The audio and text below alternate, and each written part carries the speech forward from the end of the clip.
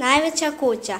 Ideš li posred ceste, kroz gornji ili donji kraj velikog sela, čućeš već iz veće daljine prema sredini sela neki žamor, sličan vrenju golemoga kotla, u kojem se kuhaju žganci ili pekmez. Čuješ pu, u, uh, hi, mr. Dođeš li bliže sredini sela, glasovi postaju jasniji. Vika i žamor ječi na kilometar daleko. Čuješ samo ovako. Au, a, oj, daj, ne, stoj. Zveće samoglasnici. A, e, i, o, u. I cvrače. Kao da se na žeravici peku. No, kad se približiš, vidiš, to je velika bijela kuća. U njoj je škola, kraj škole je dvorište. U njemu djeca, đaka više od stotine. Sad možeš tačno razbarati riječi. Djeca viču, stoj, ne daj, k meni, bježi, trgaj, pucaj, skači, hvataj ga, drži, drži. Jedni bježe dvorištem, gaze jedan drugoga, neki se parovi rvu, ima ih koji jašu jedan na drugome. Većinom to jači i teži jaše na slabijem. Neki opet skaču preko školskih drva. Ima ih koji preskakaju plotove. Neki se tuku, pljuskaju šake po licu kao slatki poljubci. Vidiš neke gotovo na vrhu krova. Sitno je to i mlado, a vrije kao najuzavrelija voda. Čini se, dvorište im je pretjesno. Kuću ne mogu razmaknuti. Preostaje im jedino, da se vinu gore na oblake, gdje bi bilo bijelog i nepreglednog prostora, do mile volje. Eh, da su im samo još krila, odletjeli su. Ta, ta škola iznutra nema ništa osobito. Samo što po zidovima visi mnogo slika, dječjih radova. Klupe su tvrde i stare. Ta tko će đacima za školu kupovati kožnate naslonjače ili barušnaste divane? U takvim naslonjačima sjede samo generali, direktori i bogati industrijalci. Djetovi govore da djecu treba šibati. Baki preporučuju da ih treba držati u velikom strahu i da je zgodno potegnuti i za uši i za kosu. Osim toga, majke i očevi žele da im djeca budu velika gospoda, da lakše žive. A opet, kad je velik posao na poljima, treba dječja pomoć. Stric želi da mu sinovac otrči u dućan. Ujak šalje nečaka u trafiku po duvan, a tetka bi jela ribu za post. Najjeftinije bi prošlo kad bi joj nečak koju ulovio u rijeci. Kum se opet nada da će njegov kumić kad tad pripaziti i na njegove krave na paši. I tako trči onamo, pomozi ovdje, a djeca bi se htjela igrati. Osim toga, treba učiti za školu. I na kraju još se često čuje, lijena djeca, samo da im je dobro jesti i spavati. Mnoga djeca koja imaju stariju braću ili starije sestre moraju nositi sve što je starije djeci tjesno, a roditelji mnoge djece po cijel dan su na poslu. Zabrinuti su kad treba kupiti cipele ili kaputiće i kad djeca legnu dugo se savjetuju prigušenim glasom. Šta da radi? Djeca preko dana uđu u praznu, pustu kuću pa i samoća istjera na cestu, među djecu. U pričama se mnogo govori o toplini doma, a o dragom kućnom ognjištu. Ali taj dom i to ognjište mnoge nemaju. Velika kuća, škola, najveća je i najljepša kuća u selu. Nije u svim selima ovakva. Ima i trašnih kuća na kojima jedino ploča sa natpisom i larma djece odaju da je to škola. Ovdje je škola lijepa, svjetla i djeci bi moglo biti u njoj uvodno. Samo kad bi uvijek znali zadeće i ne bi se plašili. U školskom je vrtu jedna osobitost. Sjajna staklena kugla, nataknuta na bijeli prut. Taj humak je ljeti preplavljen šarenim cvijećem. Usred ruža, leptirova i mušica ova se kugla sija. A kad lipansko podnevno sunce padne na kuglu, ne možeš u nju gledati zbog sjaja. Ako joj se koji džačić sasvim približi, onda na kugli izgleda ovako. Nos ima dug i debel, kao krastavac. Oči izdubljene kao u krokodila. Lobanja se raširila, a uši su se rastegle kao krila aviona. Bradica se opet ustisni, ustisnila. Vratić je tanji od pilećeg vrata i cijelo, i cijelo je tijelo dolje kratko izbijeno, a nožice se jedva vide. Ima škola u velikom selu, još neke čudne džačiće. Stanuju pod krovom, pod krovom, pitat ćete, to su onda neki krilati džačići. Pa i jesu, to su vravci. 30 vrabaca stanuju u škole pod strehom. Jedne ih zime đaci hranili mrvicama kruha, sipajući ih na dasku, koju su postavili na granu kruške. Vrabci se silno razvešeliše i udebljaše. Onda je došlo proljeće. Doselile se lastovice. Teško mukom sagradile one desetak gnjezda pod strehom u školskoj zgradi. Kad su jane svršile, useliše se vrapci u njihovu muku. E to nisu naučili u školi. Sjedoše đaci popucati od bijesa. Kako da se osvijete vrapcima? Više ih neće hraniti. Pa šta se dogodilo? Vrapci se hranili zajedno s kokošima i udabljaše se kao neke bogate gazde, mjesto kojih rade njihove sluge. Kad su se dosta najali, slijetali su na dasku prozora. Tamo bi se pod krilom malo očešali i, na, i načinili nešto nezgodno. Kad bi koje dijete to uradilo, izvuklo bi grdne batine. Kako je zgodno popeti se na školski tavan. Na svaku stranu svijeta gleda po jedan prozorčić. Sa zapadnog vidiš groblje. Pod tobom se rasproslo mnogo malih i velikih križeva. Mali križevi su tamo gdje su pokopana djeca, kojima je bilo suđeno umrijeti.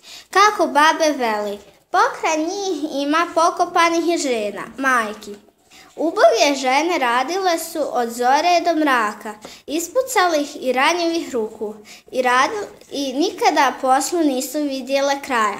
A kad su umirale, lice im je bilo začuđeno, kao da žele reći, zar već, pa rublje mi nije osušeno.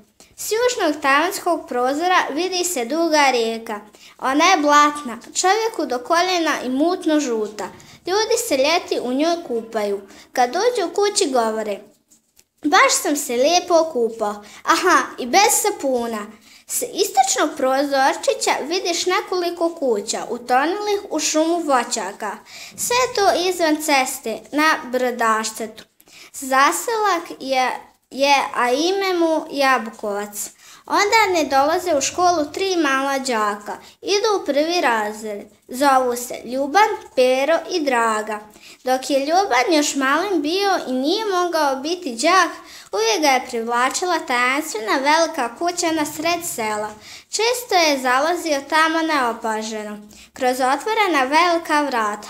Tumarao je drhtavim srcem po svim sobama i hodnicima. Zavirivao je svaki kutić. Napokon je nabasao na uže velikog školskog zvona.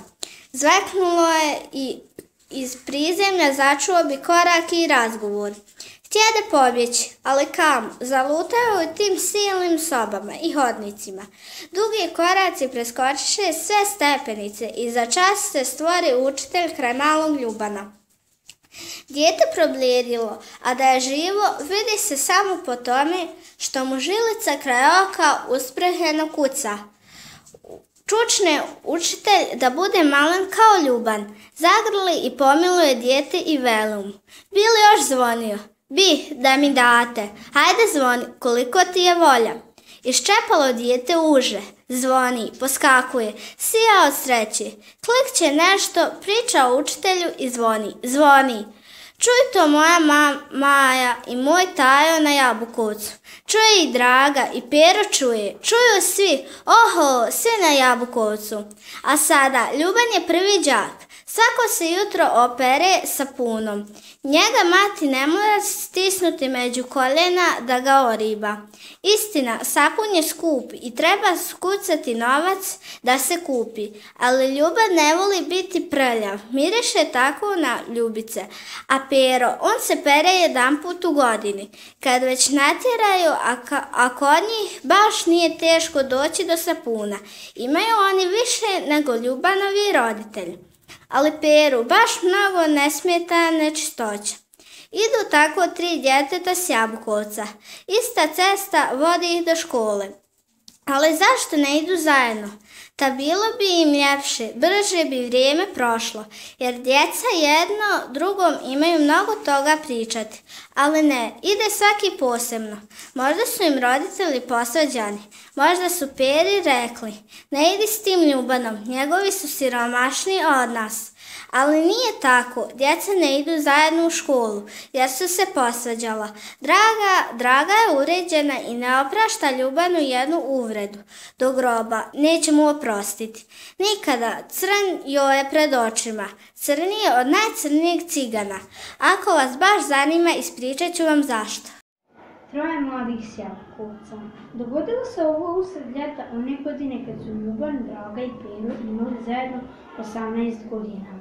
Bila je baš a nad njom široko modro nebo s mnogo sunca. U dvorištu Draganine kuće skupilo se mnogo mladih i sitnih djevojčica i dječačića. Mnogo su se pretirali šta bi se igrali, da se igramo ovoga, da se igramo onoga. Cvrkutali su kao vrlavci, napokon odlučiši da će prirediti vjenčanje. Vjenčanje tako će između njih biti mlada, javi tankim glasićem Jovana, javi Ljubica, a i Marica je također htjela da to bude ona. Male se djevojčice popravdaše, čak su se i potukle i razbježale kući čupave i prljave od suza i prašine. Ko, kako su im suze curile niz musavo lice, tako su ostajale bijele prozge. Onda se sjeti draga, brojče, koju zapadne zadnji slog, ona će biti mlada. Stadoše sve u krug, a draga u sredini poče brojati. Tri mesara buhu klala, buha sim, buha tam, buha im utekla van. Desilo se da je ono van zapalo baš nju. Sad je svima trebalo biti pravo. Dugo se zatim vječilo do, dok su ustanovili ko će biti mladoženja. Biće Pero što mu kosa štrši kao lježa. Izabrali su i be beketara i debelog kuma.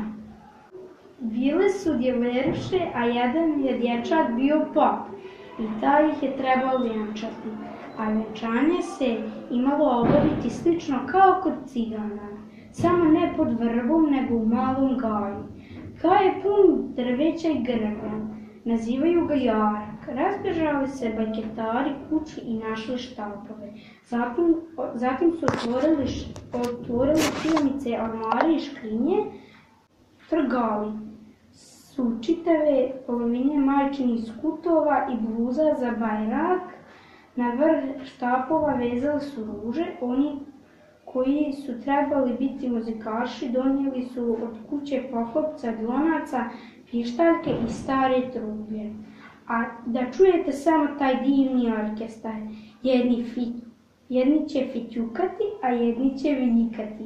Tratatatata, tratatatata.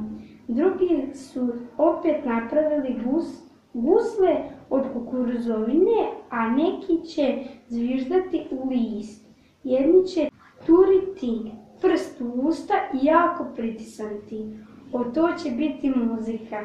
Nek slušaju slavuju jako, bajketari i debeli kum nosit će boce s vodom, kao da je u njima vino. Oni će se gledati, kao da su pijani i pjevaće Oj, djevojka draga, dušo moja. Mlada će se ukočiti, morat će sjediti i neće smjeti ništa brbljati, a da zapjeva, Bože sačuvaj. Mora imati ništa, e, mora imati vijenac na glavi, a visit će joj dugi ručnik s glave do zemlje. Doženja opet mora biti trijezan i ne smije se gledati Ljeveruše će imati vijenac cvijeća oko glave i rukama će nositi kitu cvijeća. One će se morati jako derati pjevajući da svatovi budu veseli, veseli. Da ne bi izgledalo kao da im je krivo, što se njihova drugarica udaje prije njih. Svi će svatovski gosti biti okićeni ružmarinom, zato su optrgali čitav jedan grm ružmarina i uništili ga. Neke će djevojčice ostati da budu kuharice, lomci će im biti bunda, izdubljene bundave, a sve će jelo kao čorbance napraviti od jabuka, krušaka i šljiva.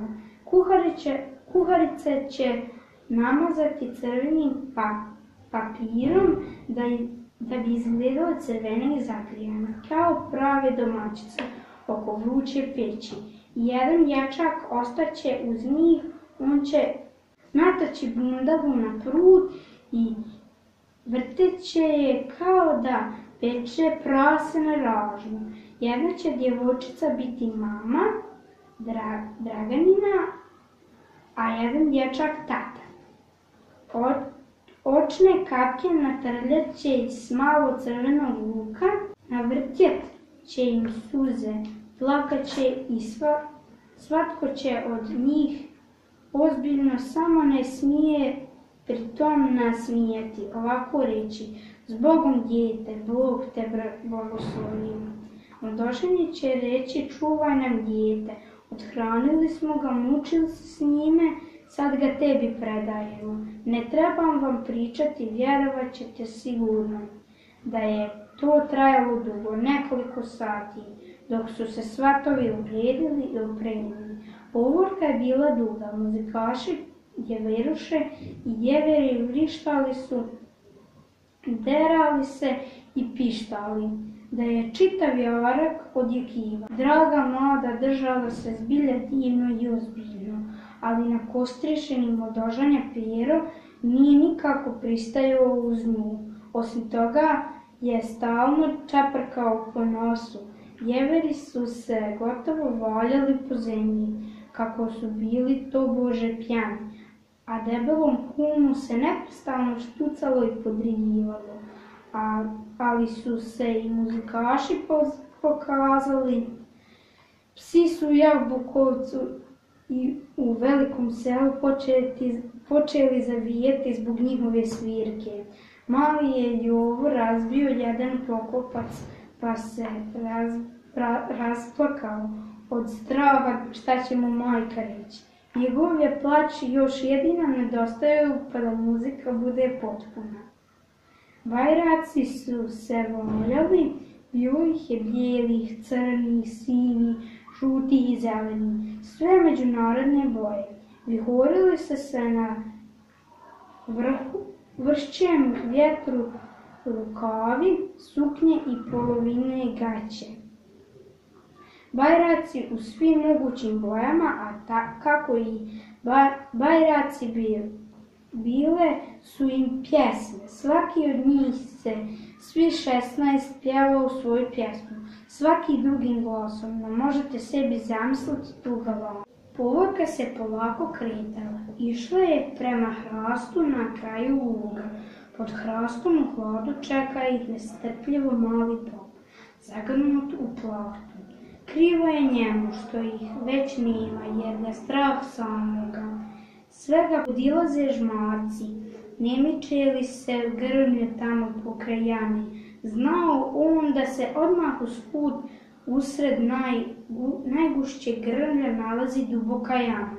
U nju seljaci bas, bacaju i zakopavaju uginulu stoku. Nađe se tamo ponekad čitav kostur konja. Kakva li užasa da ga sad ukaže kostur konja i da ga doška, doštakljuca do njega. Pljoc, pljoc, pljoc. Malo popa počeo biti strah oblijevati znoj i počeo je svatovima u su, potičao je svatovima u susret. Kao da konski kost ljudi za njim u trku i hoće ga dohvatiti ogromnim zubima. Kad ga svatove ugledaše, viknuše svi ljudita. Šta si pobjegao? Ti ne, smiješ sa svatovima, ti nas moraš tamo čekati, kad si još vidio da pop ide sa svatovima. Da to, ne bi prist, pristoji. Ne slušamo njih, već im ja, javlja kako se grmlje njiše oko one stare, starašne jame. Svatovi stadoše šraputati, mau, mau, začu se sad muljani iz grlja, mali pop vrisnu i potrča natrag u selo. Zaplavile su mu se noge u palu, noge i u plahtu i on pade, a preko njega bajraktari, popa dali, dali vam oni jedan preko drugog, za čas se napravila čitava hrpa, polovina svatova bježi blijeda lica i bez daha u selu, sve, sve su oni ostavili na put porazbacano.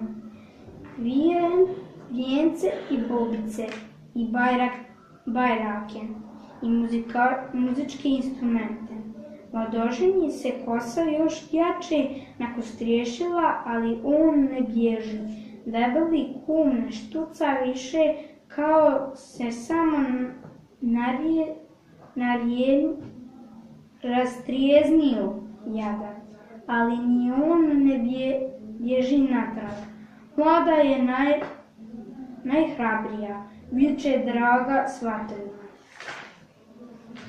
Natrag, strašljivci, natrag, ništa se nije čulo. Vama se to samo pričinilo.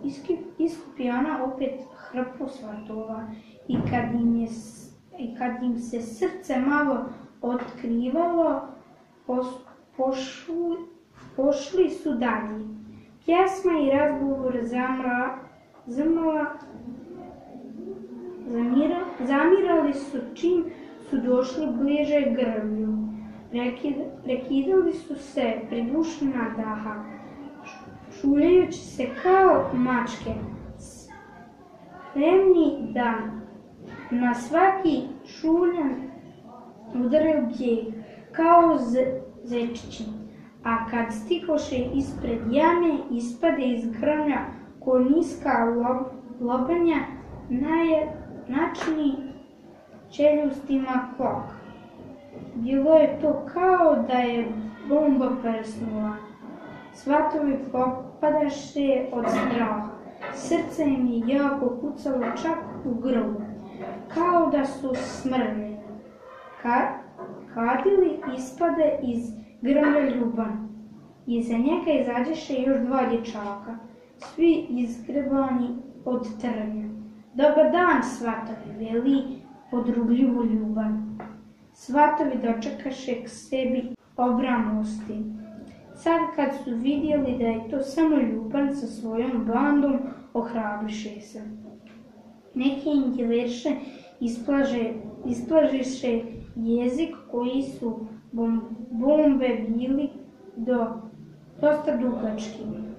Mladoženja Pero skočio Ljubanu iznenada na leđa. Vidi Ljuban da je došao do ozbiljnog zinu.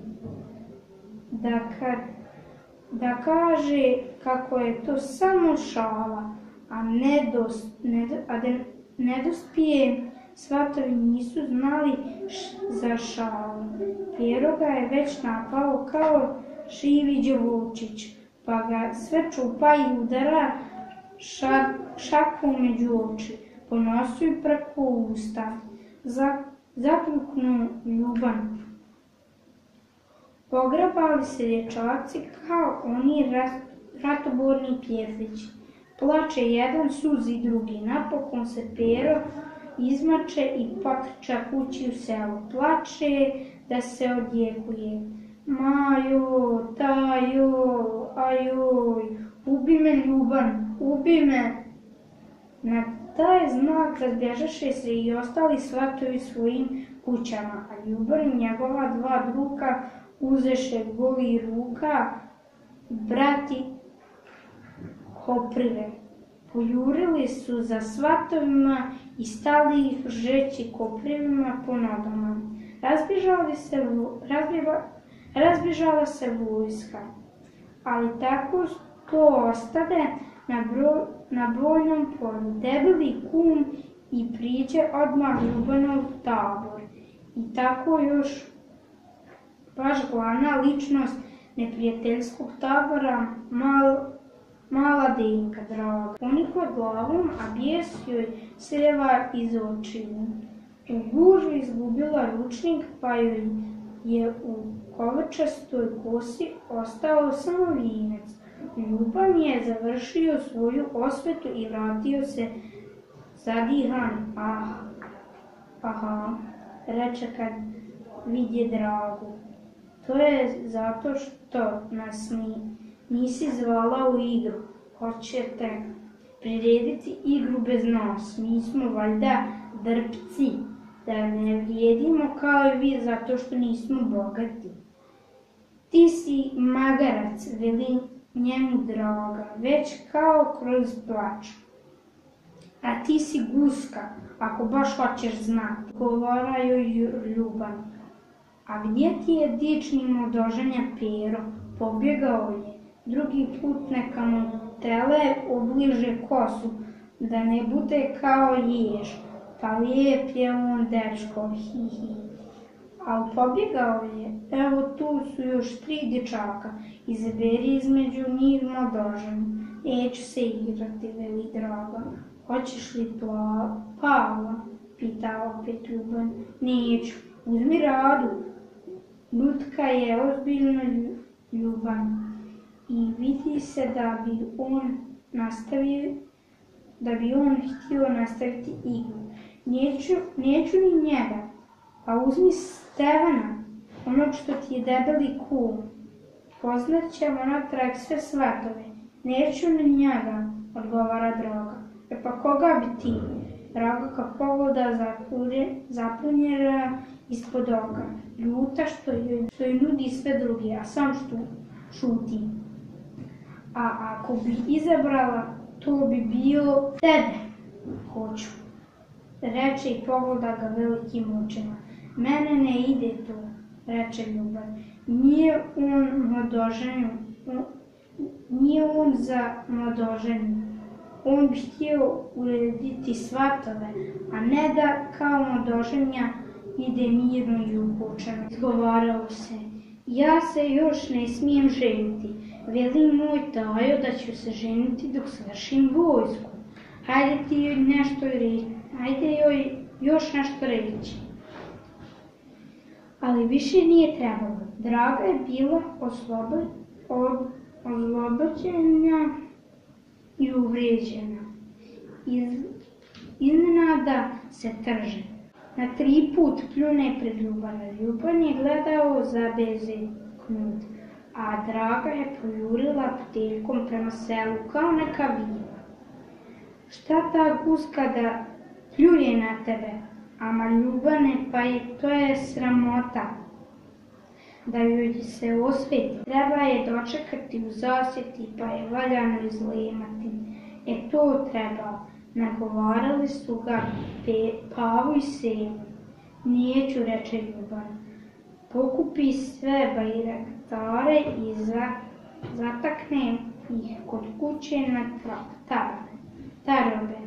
Majke se vratiše s polja kući, Može mis, možete misliti kako se iznenadiše kad naiđeše na bajrak, bajrake, na tarabama.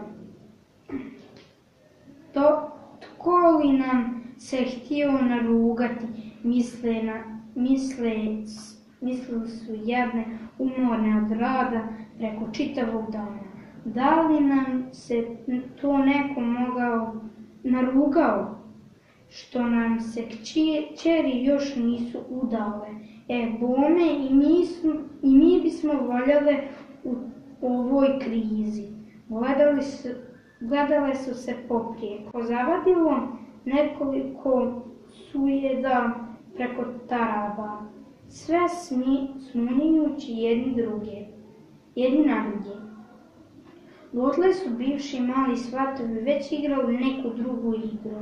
Samo se, samo je Pero ostao kod kuće, ne zato što on ne bi volio igrati se, nemojte slučajno pomisliti da je počeo na vrat, da na nos učiti zadaće, ne, nego se bojao Ljubana. Ni Draga nije više nikuda išla od kuće. Činilo, joj se da bi Ljubana mogla oči iskopati. Tako se ljutila i na njega. Ona je već željela i to. Ljubanu grom tresne u kuću, pa da ga zapali. I bilo je bi dijete i dalje riješilo u mislima. Sve izmišljajući takve zle događaje. Da nije zaspalo od umora i plača. Eh, preko noći mnogo šta ishlapi, pa i mržnja Dragina na Ljubana, samo, samo s Ljubanom se više ne igra, ni Peru ne gleda rado. A sada, kad su kuć već đaci i kad idu svaki dan u školu, oni ne idu zajedno, nego svaki ide posebno. Zadruga Ljubanovac Draga, Ljuban i Pero prelazili su iz razreda u razred. Ne može se baš reći da ponekad nije zapinjalo, ali ipak, išlo je dosta glatko. Što je razred bio viši, to se više rešetalo i do četvrtog razreda prorijediše se đaci. Neki su bili ljeni, neki priglupi, ali je bilo i siromašnih đačića koji su morali tako mnogo pomagati kod kuće da nisu dospjevali dovoljno učiti. Sad ih je u četvrtom razredu bilo 30. Dva su ostala u trećem razredu. Jedan da temeljitije prouči jedan put jedan.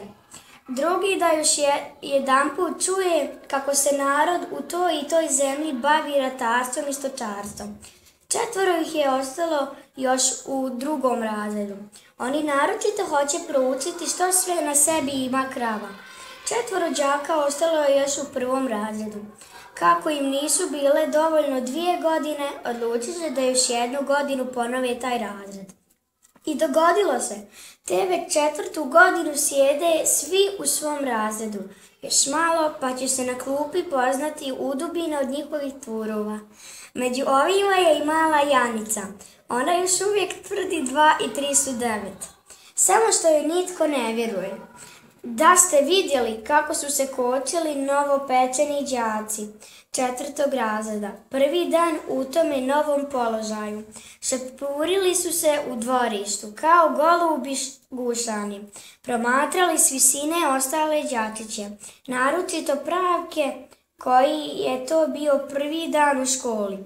Te su još bili zbunjeni. Govorili su međusobno.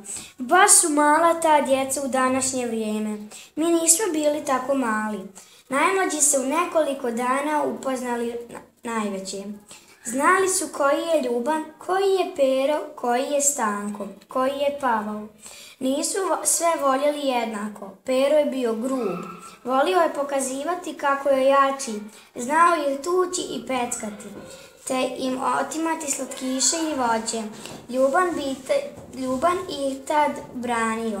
On nije mogao gledati kako netko upotrebljava silu. Zato su njega mališani voljeli, a Peru nisu. Jednog je dana na polju bila gusta magla, a u sobi je gorjela ugodna vatra. Đaci su se otkrivali od hladno od hladnoće na putu, a učitelj je u četvrtom razredu pričao o tome kako je naš narod u davna vremena živio u zadrugama gdje je svaki član imao svoj dio rada, a svi su zajednički uživali njegove, u njegove plodove. Vidite, djeco, rekao je đacima, zašto ne bismo pokušali nešto tako? Hajde da vidimo. Pretvorite razred u zadrugu. Đaci napregoše pažnju.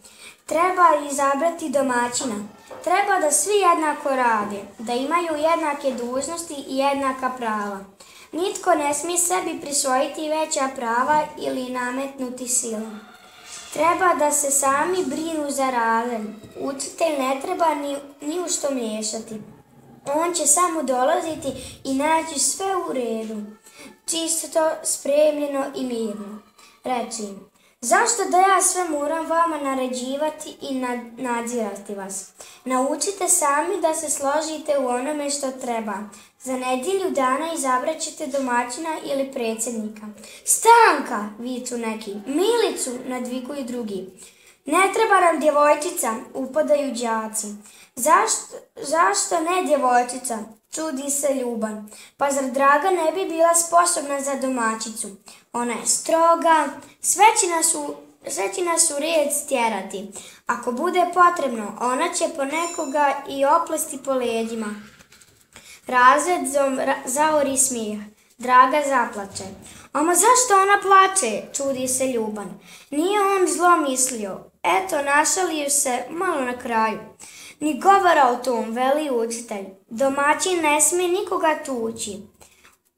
O svim stvarima mora se jedanput nedjeljno razgovarati.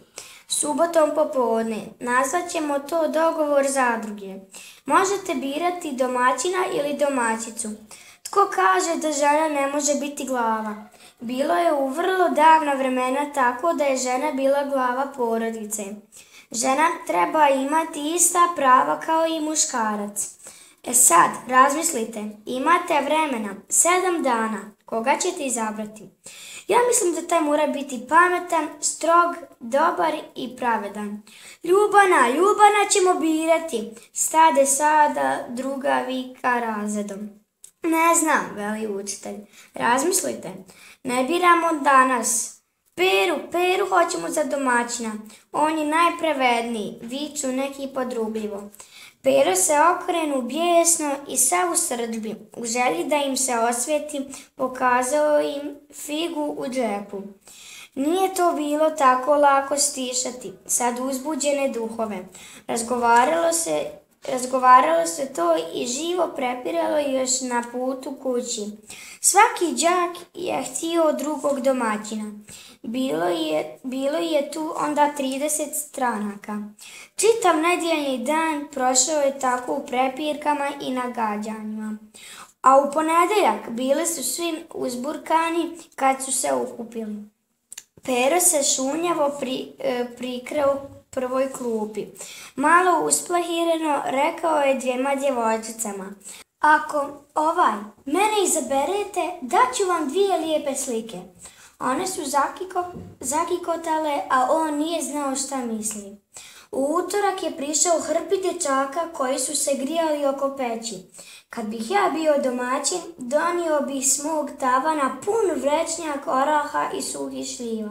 Svima vama, u srijedu se Pero još više zabrinuo.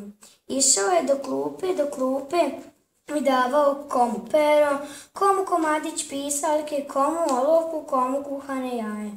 Svima je rekao, ja ne tražim da izaberete mene, ali izaberite Stanka, a ne Ljubana. U petak je Pero čitav dan bio blijed i izgrizao sve nokte do krvi. Svaki čas je pio vodu, a nije bio žedan, govorio je. Čuo sam da jedna djevojčica neće glasati za Ljubana. Draga ih nagovara za stanka. Gledao je ispod oka na Ljubana. Ljuban je bio miran. Kao da on nema nikakvih želja. U subotu ujutro došao je Pero prvi u školu. Vidjelo se na njemu da je blijed i neispavan. Cijelu noć je sigurno sanjao o sutrašnjem izboru. Odmah poslije njega, eto vam i dragi. Ha, kao naručena per. Draga, zonuje on. Ona se ne odaziva, neće s njim razgovarati. Onda on izaće na hodnik, malo zatim izađe i Dragan da namoći spužvu. Pero ispusti dinar na kamen. Dinar zvecnu, no Draga se ne i no Draga se i ne obazire. To tebi, veli Pero sa blijed. Draga ga pogleda, okrene se i pođe bez riječi. Dinar ostade na kamenu. Pero ga stidljivo digne. Kupe se đaci, dočekuje ih Pero. Časti ih oresima, suhim šljivama i jabukama. Uzmite, uzmite, nudi on. Ima svega u izobilju. Napunio je torbu i sve džepove. Maja i Tajo sigurno nisu to znali. Mm, Dobio bi on svoje da su ga uvrebali. Pružaju drugi ruke, mljackaju slatko.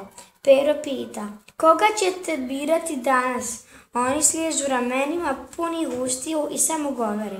Vidjet ćemo, vidjet ćemo. Na odmoru me pričekajte dolje iza staje. Molim ih Pero, a ruke mu dršću i sav je kao izvan sebe. Jedva je dočekao da prođe sat. Na odmoru 20 đaka čeka Peru iza staje. Donio je omut iz dućana. Dijeli on rogače, smokve i bombone. Oblizuju se đaci.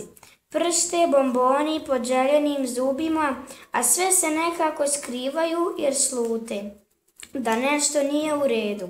Ispituju oni Peru. Odakle mu novac? Iz Amerike od strica. Laže on i na kraju pokazuje veliku plotu čokolade. Zaplistaše pohvalno dječje oči i slina im procurila. Ali tad zazvoni zvono. U podne reče učitelj. Djeco, popodne će biti izbor. Jeste li razmislili? Ali ne smije biti nagovaranja. Svaki po svom, svako po svom uvjerenju. Kod nekih odraslih ima rđavih načina podmićivanja i prinuđavanja. Ali vi još jamačno niste pokvareni, ne vjerujem da toga već kod vas ima. Jeste li odlučili za koga? Jesmo, jesmo, viću, viću đaci. Nije još potrebno da znam. Nije potrebno, brani se učitelj. Tajno ćete birati. Peru ćemo izabrati. Stade opet vika razredom. Ma sram vas bilo, viknu ljubav. Još, juste, još juče ste bili svi zato da izaberemo dragu za domaćicu. A kako ne nju? Onda stanka za domaćina. Ala se brzo mijenjate kao vjetar. Priznajte, Pero vas je podmitio slatkišima. Ne, ne, ne, Ljubana ćemo, Ljubana, zavikaše opet đaci. Nasmijao se učitelj neodlučnosti svojih đaka i otišao. Oko pere se okupilo opet mnogo đaka. Nadaju se da će dobiti komadić slatke čokolade. Nemam je, izgubio sam je, brani se pero. Ne vjeruju đaci, pa ga opipavaju. Prevrću mu torbu i džepove. Raskopčavaju mu košulju. Pa onda kad nisu vidjeli ništa, počeli su ga škakljati i potezati za nježnu kosu. Štipkaju ga sa svih strana. Jedan mu je napisao na leđima kredom domaćin. Iz početka se i Peru nasmijao, ali onda, je morao ali onda se morao braniti rukama. Udarao je oko sebe dok je mogao, jer je Mile našao komad uzice i čvrsto mu odastrag svezao ruke. Donosoše metlu i utaknuše mu je ispod mišice, pa svi stadoše ispred njega i viknuše. Živjela naša bogata domaćica, živjela Amerika. U toj najvećoj galami pomoli se Ljuban u razredu. Slaleteše ga đaci. Ljubane, presudi ti, da li, da li odvežemo peru smokvara i peru čokoladara? A kad ljuban klibnu, odvezeše peru i zapjevaše. U našeg ga domaćina zlatna muha na duvaru. Draga se opet u dvojištu stalno nešto dogovarala sa djevojčicama. Onda su sve druge otrčale u razred, a Draga je ostala na bunaru da se napije vode. Ljuban je skočio po drvo u štagalj, kad nabasao na dragu. Kako se muči i ne može izvući težak drveni čabar s vodom. Pusti, ja ću ti izvući, veli on dragi i uhvati za kotač. Kotač se okretao brzo, a kad je čabar skočio gore, opazi ljuban da drage nema. Zamisli se za čas. Onda pljucne u stranu. Skočio je po naramak drva, zgrabi lončić svježe vode i odnese u razred. Najprije stavi vodu na klupu pred dragu, a ona odnese drva k peći. Hi, hi, hi, ti Ljubana, kako je usluža Montić. Nasmijaše se djevojčice, a Draga gurnu lončić pun vode. Nastade čitava bara na podu. Tuzit ću učiteljicu, tuzit ću učitelju, skoči Pero. Koga? Dragu? Ne, Ljubana. Pa nije on prolio. Ipak je on kriv. On, ma nije istina. Jeste, nije, jeste, nije. Bum, pljus, jao, uh, udri, ne daj se, k meni. U pomoć, bum, bum. Sav se razred zaratio i ne znaš tko koga udara. Koliko đaka, toliko stranaka. Tresu se prozori, vika i plać drmaju razredom. Zvono se utiša, kad se smiriše na svojim mjestima, ala su lijepo izgledali dječaci izbijeni izgrebani do krvi, poderana odjela, proređene kose, istegnuti uše, ušesa. A Ljuban, on je već našao neku krpu i briše vodu spoda. Tako i tako i nađe učitelj i reče, čini se izborna bo, borba je bila žestoka. Zagrajaše đaci i stadoše pričati učitelju o svemu što se dogodilo. Najviše o peri, kako je on donio odnekle preko 30 dinara. Nakupovao je pol dućana, pa dijelio i mitio. Ploču čokolade je imao. Čovječe, toliki komad u ovoj krizi. I nestala ploča nekamo. Ta zar ju je pojeo? Pa odakle mu novac, ne znaju. Veli Pero, poslao mu dolar neki stric iz Amerike za žvakanje. Kako ne bi, baš u Americi stričevima pečeni golubovi lete u usta. I sve takve stvari. Mir, djeco, ta uglušit ću od te buke, a ništa ne razumijem. Viknu učitelj smješkajući se. Ali mu se za trenutak smraci lice, kad je čuo tužbe o podmićivanju. Dogovorio se s đacima. Svaki dobiva komadić papira i piše tajno da nitko ne vidi ime i prezime onoga koga želi za domaćina. Obavio se taj povijesni izbor. Nestrpljivo prebrojiše glasove. Prvi put je izgledalo ovako. Ljuban je dobio 12 glasova. Za Dragu je glasalo šest. Imao je i Stanko pet.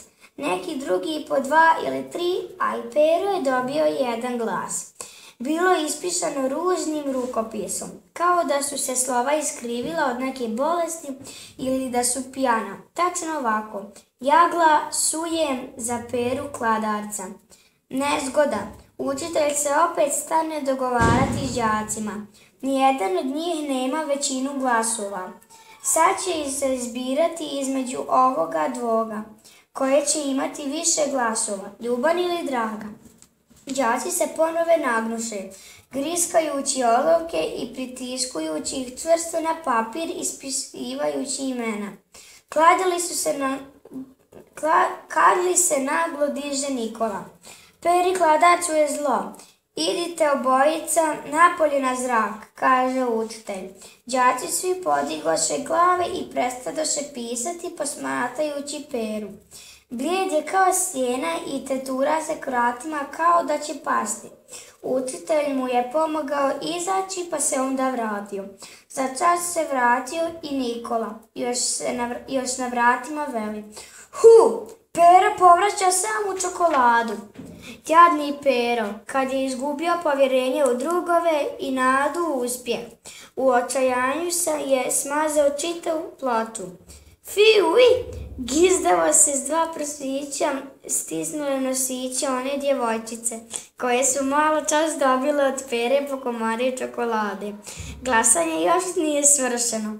Ljuban je blijed i ozbiljan piše. Ja glasujem za Dragu. Predani su svi papirići. Slaže učitelj u dvije hrpe na stolu. Jedna je viša, druga niža. Svi su u razredu uzbuđeni. Jedva dišu oči raširena. Učitelj proglašuje. Izabrali ste za domaćina Ljubana. Haj, haj, iha, haj, živio. Kliktah u najviše dječaci. U to se naglo otvoriše vrata. Ulazi Pero, blijed i satrven. Ja nisam glasao, protivi se on. Pa za koga bi Pero, pitaju i kađaci. Glas, e, glasa javno.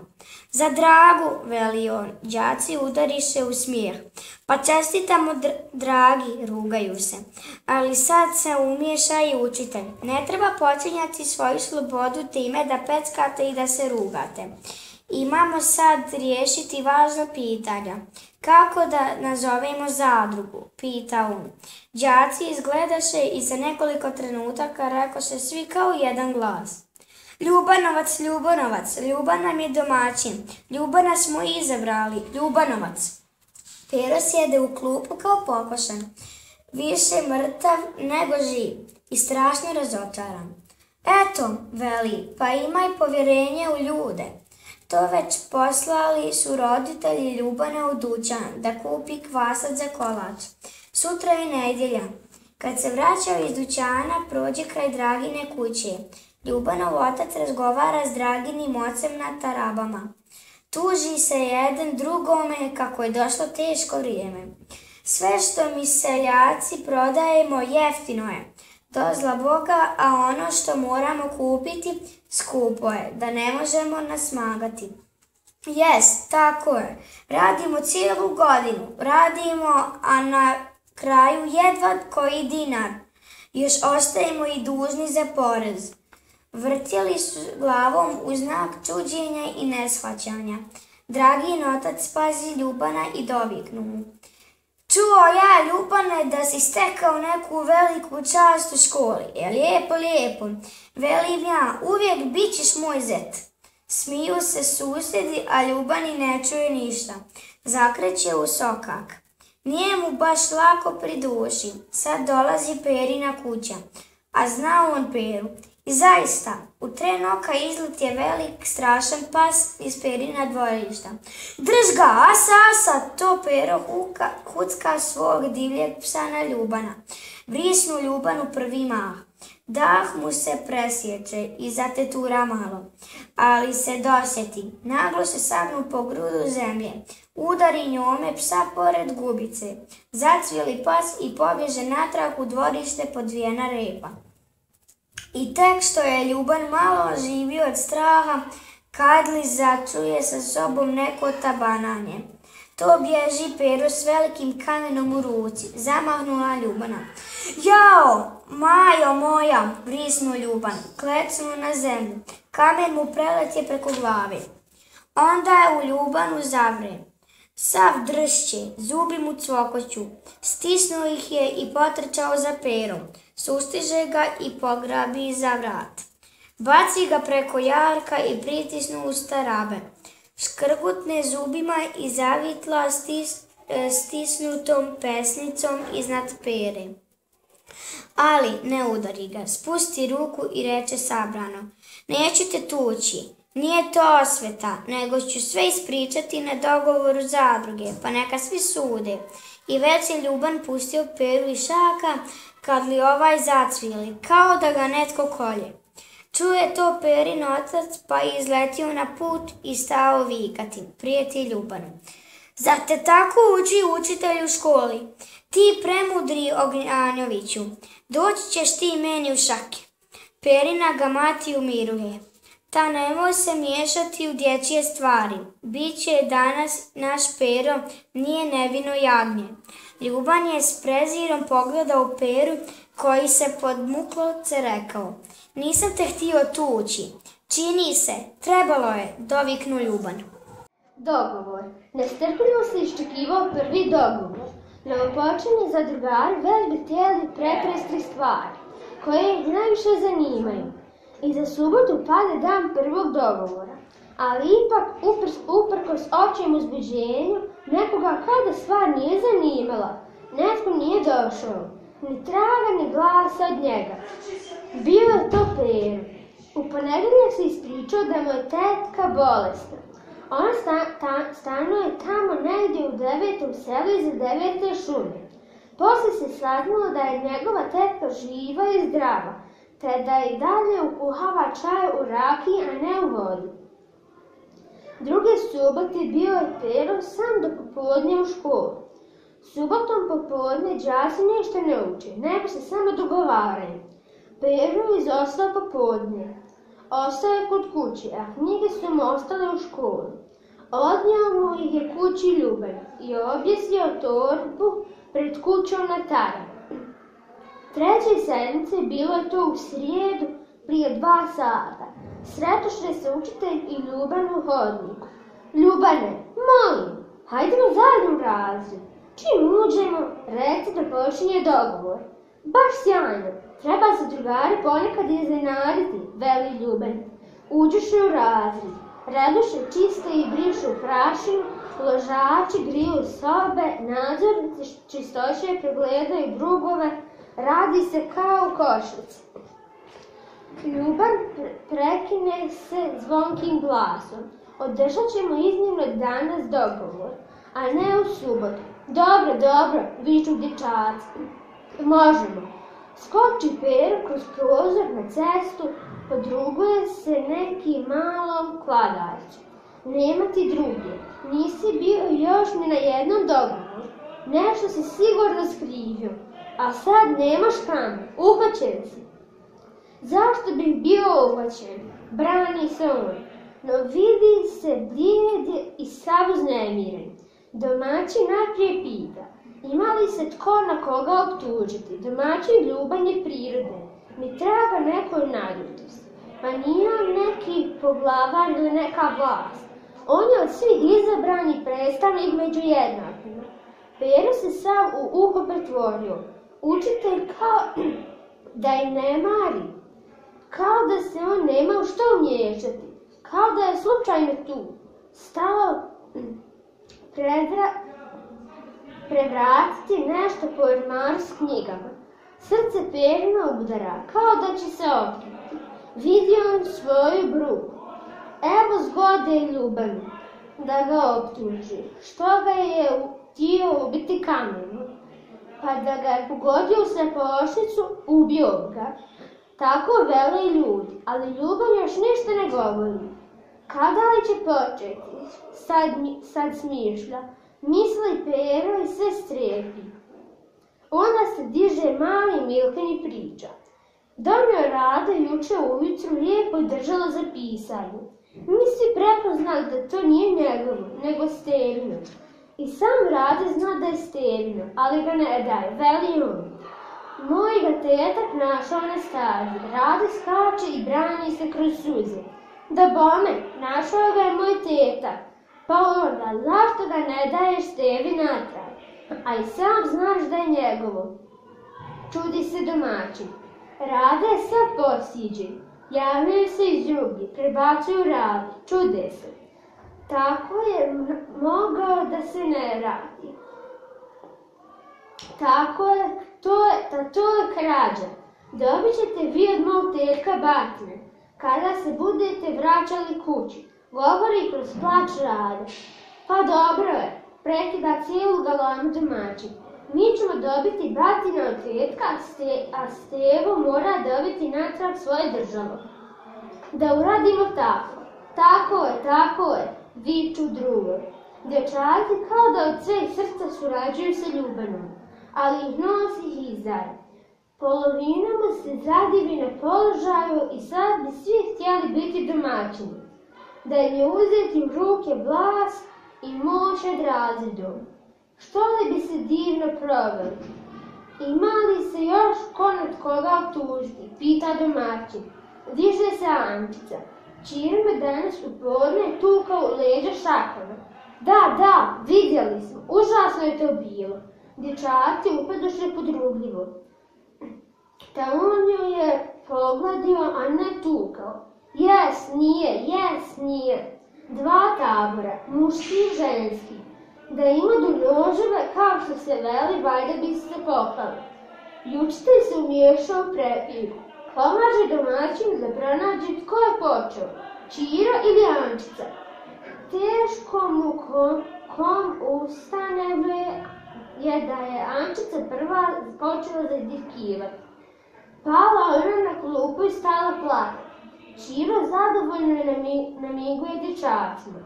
Učitelj je dosad samo gledao. Fuj, sram te bilo, Čiro. Presno odjednom. Dječak pa da šakama ne valjaš na slabu djevojčicu, baš si mi čovjek i neki junak. Skočio čitav razred i prihvatio. Baš srmota, baš srmota. Smije se Ljuban grhotom. Stoji pred klupama u razredu i tako se smije. Da se, da se sve za trgu hvata. Što se to Ljuban smije? Što? Zašto? Pitaju svi. Za tren oka opet već ste protiv onoga. I smijao se smijao. Tako je na dječake padalo kao hladan pljusak. Pokunjali su se, posviđeno su se zagadali. Ovaj smijeh ih sve više dirao, nego da su dobili pljuske. Ala se i vi za slobodu. Ovaj razred je dospio samo dotle, gdje šibom dijele pravdu po golim šakama, ali ste me i počastili što ste me izabrali. Tam mi treba da smo jednaki i slobodni. Učitelj se umješa. Čekaj, domaćine, ne možeš odmah od njih tražiti sve. Oni još nemaju svoje glave i još se ne snalaze u ovim novim odnosima. Za cijelo to vrijeme Pero Kladara šuti. Naborno mu je čelo i presašne široke otvorene oči. Misli on teške misli. Što li će te razred zabrujiti kad domaćin pukne kao iz puške? Htjede mu Pero ubiti oštrim kamenom. Čas mu je od silnog straha postalo vruće, čas hladno. Bio je zaista samo jedan izlaz, da sad pobjegne na vrati, da se ovamo nikad više ne vrati, da pohađa školu daleko u drugom nekom selu, ili da pobjegne od, od roditelja, da ode u drugo koje selo, da ode kojim gospodaru za kravara, ili da dođe neki potres i da se ovaj čas sve sruši, ali opet, opet da on ostane živ. Ima još i ovaj izlaz, da je nago džipki, džipik prozoru, otvori ga i skoči kroz nje. Zgodan zamislio, kad se ne bi razred bio spratut i kad bi mjesto tvrde zemlje dolje bilo debelo nego tjeso. Nema nikakvog izlaza, on to mora pretrpjeti. Na Mahove mu se sad od neke muke mračilo pred očima. Da znamo li da izađe napolje, na zrak, ah ne, svi bi mu pod nos tužili onu čokoladu. Kladili ljubav glasno zapita. Ima li se još ko na toga tužiti? Svi sjede, nema niko. Onda Mil Milkan skoči. Domaćine, Reci ti, možda se ti imaš na koga potužiti. Pera pretrnu, grlo mu se usušilo, daha mu ponestalo. Sve dječje glave zaigrale su pred njim u komilac. Čini mu se, sad će se on svijestiti. Ljubav reče lijepim, zvonkim i ugodnim glasom. Ne, nemam se ja ni na koga optužiti. Prošao učitelj pored njega i po pogledio mu tamnu kosu. Pero se zarumenio i povratio mu se život. Kada su posle svi zadrugari počeli govoriti što su sve one sednice dobro učinili. Razbr razbrljao se i Pero, pa on je ovo na naučio, pa ono, ovo pa ono i previše toga dok to nije dojadilo ljudi. Ne, kaf, ne kafraj tu više, da se si lagao, ne bi to već ni pac s maslom poju. Svi su to drugari duži se očiti bar jedno, najsitnije dobre, dobro dijelce, koje moraju svake sedmice izvršiti. Svašta tu možeš čuti pa i nasmijeti se, Milkan veli. Išla sam u dućan tati po duhan. Gle, gle, rugaju se zadruga. Zar to nije dužnost djeteta? Gle ti nje, ona ocu načinila dobro i pametno djelo. Čestitam na to čas, baš se pogodila. Veli Ana, nahranila sam gladne ptice. Na, na zdravljenju. podruguje se Jozu, Graja. Napokon se ustanovilo da je to ipak dobro djelo. Nastavlja Jozu kroz smijeh. E, blago sada našim školskim vracima. Te će vam dobiti na težini od silnih dobrih dijela. Ljubica sjede u jednoj klupi s jelom, jela se opće. Poklonila se Ljubici pisar. Dobro, veli zadruga jednoglasno. Odmah do nje Ljubica se općuje. Poklonila sam jel pisar. Razred prasne smije. Tako, dan, da ti dam. Ona dva, ova je vrati, divno. Tako su obje izvršile dobro djelo. Jada se smijeh utišao. Jedan dječak jada dalje. Poklonio sam Ivkici jabuku. Drugi, dao sam Ivkici jabuku. Treći, jabuku sam poklonio. Domaćin upada. Kome? Ivkici. Opet smijeh zaori razredom. Kao da proljetna kiša skakuće po lišću. Neka djevojčica. Suhi šljiva sam poklonila. Ovaj, Ivkici. Aha, divno. Zabraja zadruga gušeći se u smjeru. Opet jedna djevojčica, dala sam oraha. Ivkici, nastavlja sama zadruga. Neki se članovi valjaju po podu od smijeha. Ustanovilo se i ovo. Ivkica je bila mala lukava ptičica. Znala je da na dogovoru zadruge iznose rđava djela i hvale dobre. Ona je to iskorištavala. Izazvala je i prekosila drugovima drug, i drugaricama. Od ponekog izazovno dobila je bubotak u leđa, a kad se ona na njemu zaprijetila da će se protiv njega na dogovoru pritužiti, odustala je samo u slučaju ako je krivac nešto ponudi. Tako se očula rabota male Ipice, pre, prepadena prepadana lukava ptičica, kao da je išla u školu pokvarenih odrasli. E, ne može ništa sakriti. Na dogovoru se sve otkrije. Brrr, dogovori, ti dogovori. Tako bi mislio da će toliko, da će tolika mala srdašca držati u oči subote. E, nemaš hulj, moraš biti pametan i valjan koliko je god moguće. Samo te zadruga ne rešeta u tom strašnom dogovoru. Kad se doista razgovarali o dobrim dijelima, ustanoviše da polovica iskazanih dijela nisu uopće dobre dijela. To su dužnosti koje moramo činiti, a dobra dijela učin, učine na ispici. O tome je bolje da se šuti. Potužio se domaćin. Ako treba da dalje potraje, Vi ćete reći da, da je skinuti šešir pred nekim i reći Dobar dan, za vas dobro djelo. Nego, sad idemo dalje. Ima li se tko vas zgodan prijedlog da poboljšamo našu zadrugu? To dana ustanoviše da treba prikupiti članarnu od ovog, od ovog svakog člana. Platit će jedan dinar mjesečno. Od tog novca kupovat ćemo četke za odijelo, četkice za zube i sapun za ruke. Ostaće još novca. Nabavljat će se dječje časopise koji se kod nas štampaju. Ako griza potraje duže, onda ćemo morati smanjiti članarnu na pola dinara mjesečno. Zahtijevao je Storin. Razumije se.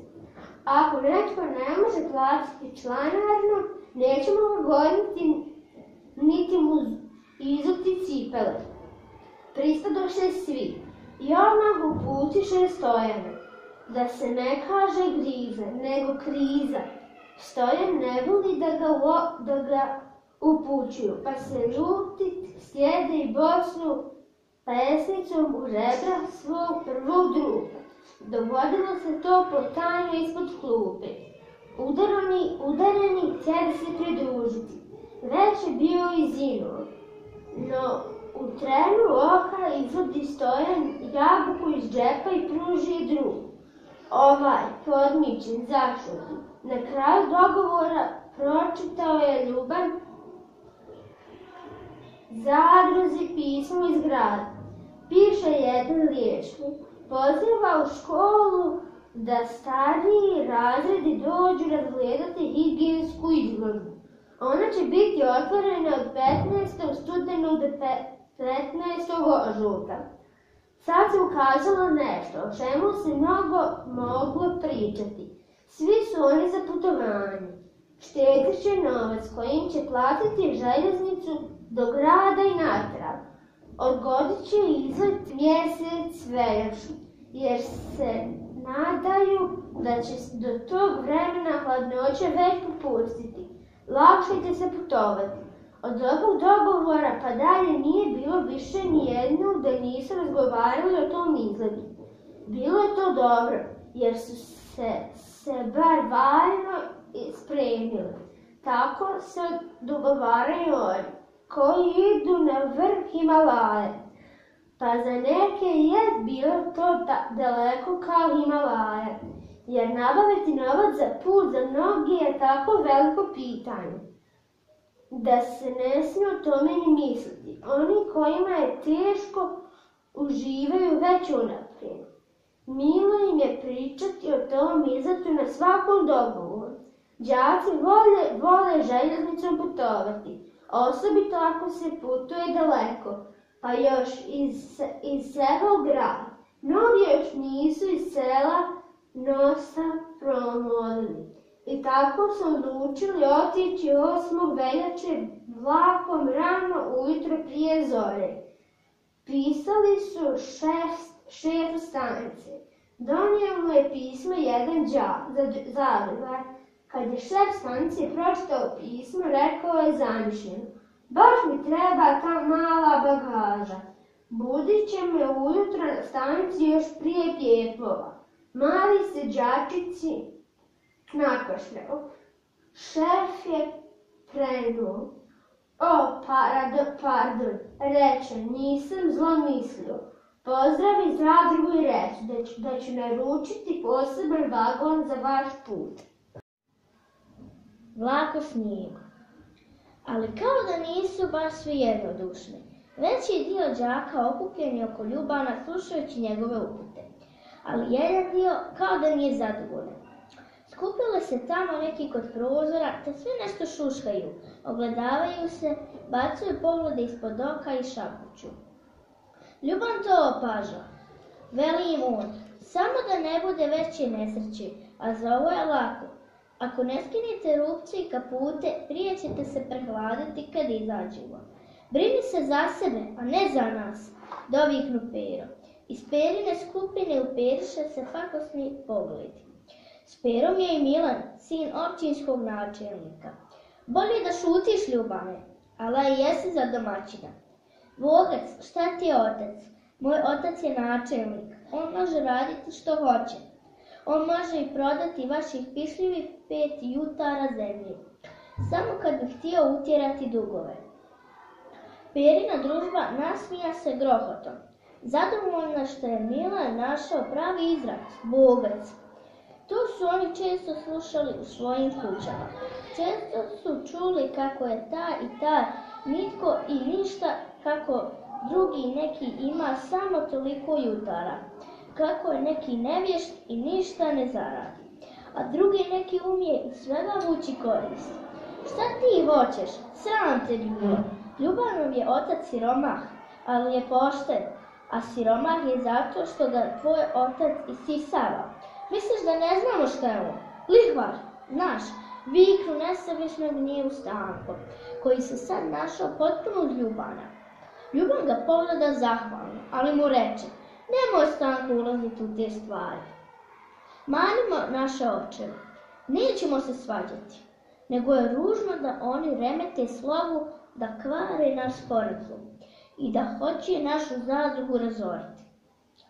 Pero se iskrsio i uzeo debeli gušći batak, kao da njime izaziva i prkosi.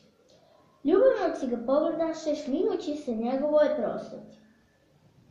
Ljuban reče, dobro da je već sada dotle došlo. Znao sam da ćete vi praviti nered. Što prije to bolje, bar znamo što treba početi. Na to nastan, nastane galama urnemis. U to uđe kondukter, onaj isti koji je jutros bio na tom vlaku. Dobar večer, pozdravi se đaci. Ljubav mu dade kartu ispravu. No, ovaj put kondukter ima ozbiljno lice i ne šale se više s malim đacićima. Ne kaže im ni riječ, pričvrćuje jače naočale i nabija kapu na uši. Izlazi na vrata, okrene se i rekne, domaćine, izvolite, priskoči Ljuban. Dođi malo k meni, ovamo u hodnik. Zanjemiše svi đaci kad ostadoše sami. Kakva je to tajna? Pero je već na vratima i prisluškuje. Ljuban poznaje njegov nos. Pruži ruku iza leđa, a da to kondukter nije ni vidio. I povuče Peru za nos. Jao, viknu Pero. Prisluškivati je nepristojno, kaže Ljuban u brzini. Nasmija se malo kondukter, ali smijeh mu baš ne ide od srca. Mi, slušajte, ja se zahvaljujem na časti. Neću više biti vaš domaćin. Svršeno je. U taj čas nasta gromna tišina. Za trenutak začuo se napolju lomot hotača i fijuk oštrog sjeveca. Sadoše se dječaci i djevojčice okupljati oko ljubana, a manjina oko pere. Šapuću jedni, šapuću drugi, a draga, ona je još uvijek sjetna. Rijetko kad je okrene glavu na đake. Pogled joj je upravljen stalno na polja i na snijeg. Djevojčice potrčale k njoj pitajući je nešto šaptom, ali ona ne odgovara.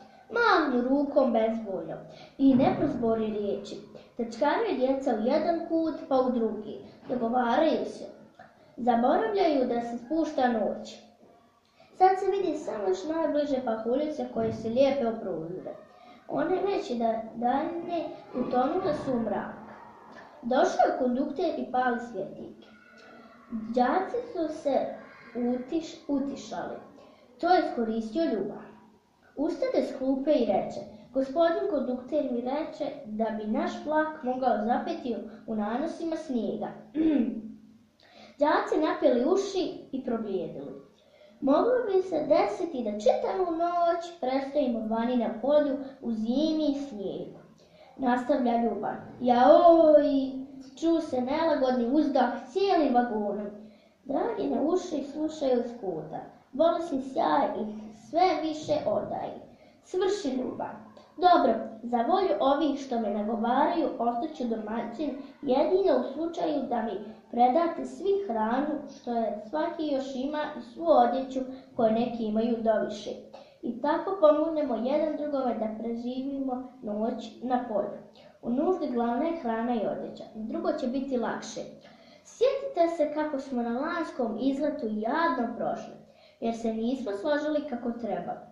Ostate konduktir kod zadnje svjetiljke. Zinuo je začuđen, gleda u Ljubana i u dječju gomilu. Ne vjeruje svojim ušima, pa i ne osjeća jedan da mu iz svjetiljke i ne osjeća jedan da mu iz svjetiljke kapa ulje za vrat. Molim, kaplje vam ulje za vrat, reče Jozo. Ravno za vrat, strašno se začudi kondukter, a onda tek prene. To jest, htio sam reći, da Ljuban nije više domaćin. Jest, jest, Ljuban i dalje domaćin. Kliče mnoštvo u vagonu. Dajte mi što sam tražio. Pita još jednom Ljuban i odlučno, odlučno i glasno. Dajemo, dajemo, ali sve. I naranče, i čokolade, i kolače. Pero viknu izazivač. Ja ne dam. Još neki glasovi su tamo dreknuli. Saperlot, kliknu kondukter, to je zanimljivo. I sjedne na klubu. Uzme ručić i stade otirati ulje s vrata. Ljubav završi mirno. Dobro, tko neće s nama u slogu, taj ne može biti zadrugar. Neka živi sam. Tko zaista hoće u našu zadrugu, neka dođe ovamo k nama. A tko neće, neka ide u drugi kut. Preskočila Ljubanu velika većina, gotovo ga slušaše. Oko pere u drugom kutu okupilo se njih osmora. Još Ljuban nije gotov, skoči on kondukteru. Sve ste vidjeli, molim vas, sad nas odijelite. Ovdje nas je 22, a tamo mnogo manje. Mi ne možemo biti zajedno. Ovi naši drugovi neće s nama u zadrugu. Na vagonu piše zadruga Ljubanovac. Tu spadamo samo mi. Ho, ho, jasno, jasno. Veli kondukter. Diže se i službeno namješta kapu. Ima još vaguna. Svi ovi koji neće u zadrugu neka izvole sa mnom. Bar se nećete svađati. Ja moram paziti na red u vlaku. U taj tren skoči Rade Kljuban. Skoči i Jela. Vidi se, sjedoše još neki, no na čas zastadoše, pa tako i ostadoše u steru. Idemo, viknu kondukter, pođoše šestorica za kondukterom s perom na čelu. Neki su zamišljeni, ali pero se veseli. Na njemu se vidi zadovoljstvo, ali šta je s dragom? Sve su oči uprte u nju. Ta ona još do sada nikamo ne spada. Napokon se diže i ona bez riječi pognuta. Zadruga je zanimljiva i motri svaki pokret dragi. Ona kao najteža bolesnica uzima svoj kaput i torbu i diže se. A onda poniknu glavom i izviđe posljednja na vrata za kondukterom. I opet nekoliko trenutaka tišine u vagonu, onda se odahne. Ljuban reče da održimo dogovor. Bilo je opet nešto malo prepirke i svađe, ali sve, do, sve se dobro svršilo. Morali su dati sve jelo. Svaki je dao što je imao.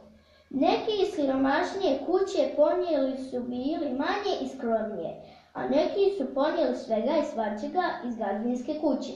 Zadrugari su se morali zajednički izjednički. Nakupilo su od svih punu klupu jela. Bilo je tu još mnogo kuhanih jaja, suhog svinjskog gušćeg i kokošijeg mesa, slanine, sira, gibanice od maka, gibanice od zelja i drugih kolača, a kruha u izobilju. Površ svega bilo je bombona, čokolade i naranči. Sve to djevojčice lijepo svrše se po klupi. Izgledalo je kao dućan. Svaki bi imao premalo, a svi imamo mnogo. Kako je to zgodno zamišljeno, rekoše djevojčice slažući. Ljuban reče, ako stignemo kući u pravo vrijeme, radat ćemo sve vlasnicima. Ako ne stignemo, pitat ćemo konduktera kad je 7 sati, pa ćemo večerati. Milica nema nikakav drugi posao. Ona neka pazi na hranu. Dogovoriše se i za ostalo. Jedan ima paziti na čistoću zahoda, jedan na prozore, izmjenjivat će se. Baš u vrijeme dogovora mali dušan iznenada probljedi kao krpa. K njemu djevojčica, ruke na čelo, neka se nagni, veli domaćin. Ja to ne mogu gledati. Potužilo se nekoliko djevojčica. Žao nam je, rekoše im dječaci. Najlakše je to. Vi ne morate gledati. Izvolite okrenuti vaše osjetljive glavice k prozoru. Nosiće dignite, nosiće dignite u vis i kroz staklo promatrate prirodne ljepote. Dušan je povratio sve ono što mu nije spadalo u njegov želudac. Đačići su obično na izletu lakomi. Miješaju za jedno kobasice i čokoladu. Nije čudo da im onda pozli. Pune šešire snijega doneseše drugovi kad vlak stane na jednoj maloj stanici. Osim toga uzeše omote od novina i opet urediše pod u vagonu. Zaokupljeni time mali zadrugari nisu dospjeli opaziti da je van snijeg prestao padati. Što više, a to je baš najstrašnije, nebo se razvedrilo da je nigdje nisi vidio oblačka ni za lijek. Zvijezde su provirile, a mjesec se razlio po nepreglednim bijelim poljima. Uz prozore se osjećalo kako se strašna studen uvlači kroz pukotine. To će biti vjetar, kakav u vedre zimske noći kosi sa sjeveroistoka. Zabrinu se zadruga, ali evo konduktera.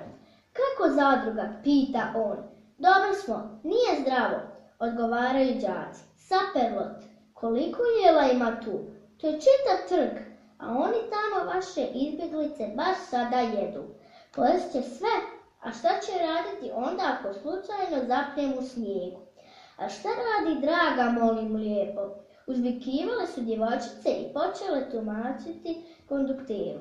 Ona što ima kovrđavu košu, A ona legla na klubu, izgleda kao da je bolesna ili pospana. A Pero, šta on radi, pitaju dječaci. A on jede kao da nije jeo čitavo stoljeće. Traži od drugih i daju da moraju podmititi svoga vođu. Veli Ljuban. Ljuban je već opet nešto smislio i veli kondukteru. Lijepo vas molimo, dopustite nam da smjestimo bolesnog našeg dušana u vagon drugog razreda. Taj je odmah tu do nas, naprijed. Tamo je mekše, a i toplije. U početku kondukter nije pristao, jer je to pot, protupropisno, ali je ipak popustio.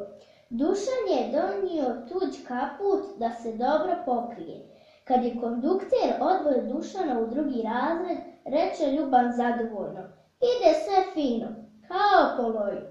Sad imamo i bolnicu. Djeco, ne bojte se nikakvog zla. Poslije kratkog vremena otvoriše se vrata od vagona. Provjeri glava kondukterova. Pardon, možda smetam. O, molim, ne, nipošto.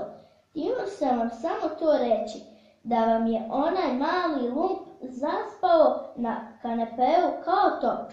Sjajno je to, saperlot i ode vedriji nego što je bio na početku puta. Htjede jedan dječak nešto kazati, kad li se opet otvoriše vrata kondukterova. Glava progovori toplo. Još nešto zaboravio sam vam ranije reći. Jedan mali izbjeglica cmizdri, pa vam je poručio da bih htio k vama. Veli da je Ljubano bratić. Ne, ne treba nam, veli Ljuban. Mislim da smo svi u tome složeni. Jesmo, jesmo, vele đaci. Utješit ću ja ipak njega. Imam vremena, veli konduktir. Znati, onako nemam nikakvog posla. Badava stojimo na stanicama. Ni živa duša ne ulazi nigdje u vlak. Izgleda kao da se sav svijet zaledio i da je izumro. A samo mi da živimo, saperot, no nije ni čudo. Tko će na, na put po ovoj strašnoj studeni? Tko će? Samo zaduga Ljubanovac. Živjela! Baš u taj čas ostar fičuk stroja pro, proreže ledeni uzduh. Oho, šta je to? Trgnuo se kondukter i iščezao. Još jedan fičuk, još jedan, vlak jurnom najvećom snagom. Risu se đaci u vagonu. Oni na prozoru i ne vide polja, ne vide ni nebo sa zvijezdama i mjesecom. Jure, jure bijelim tunelom kroz snijeg. Sipa se suhi snijeg preko vagona. Zatrpat će čitav vlak. Odahnu se đaci. Vlak je probio veliki snježni nanos. I sad opet juri kroz zvijezdanu ledenu noć. opet fičuk, dug i žalostan. Vlak je opet pred bijelim tunelom i zadiše opet sretno. Tako nekoliko puta zabavljaju se đaci. Svi su na prozorima dugog i prostranog vagona.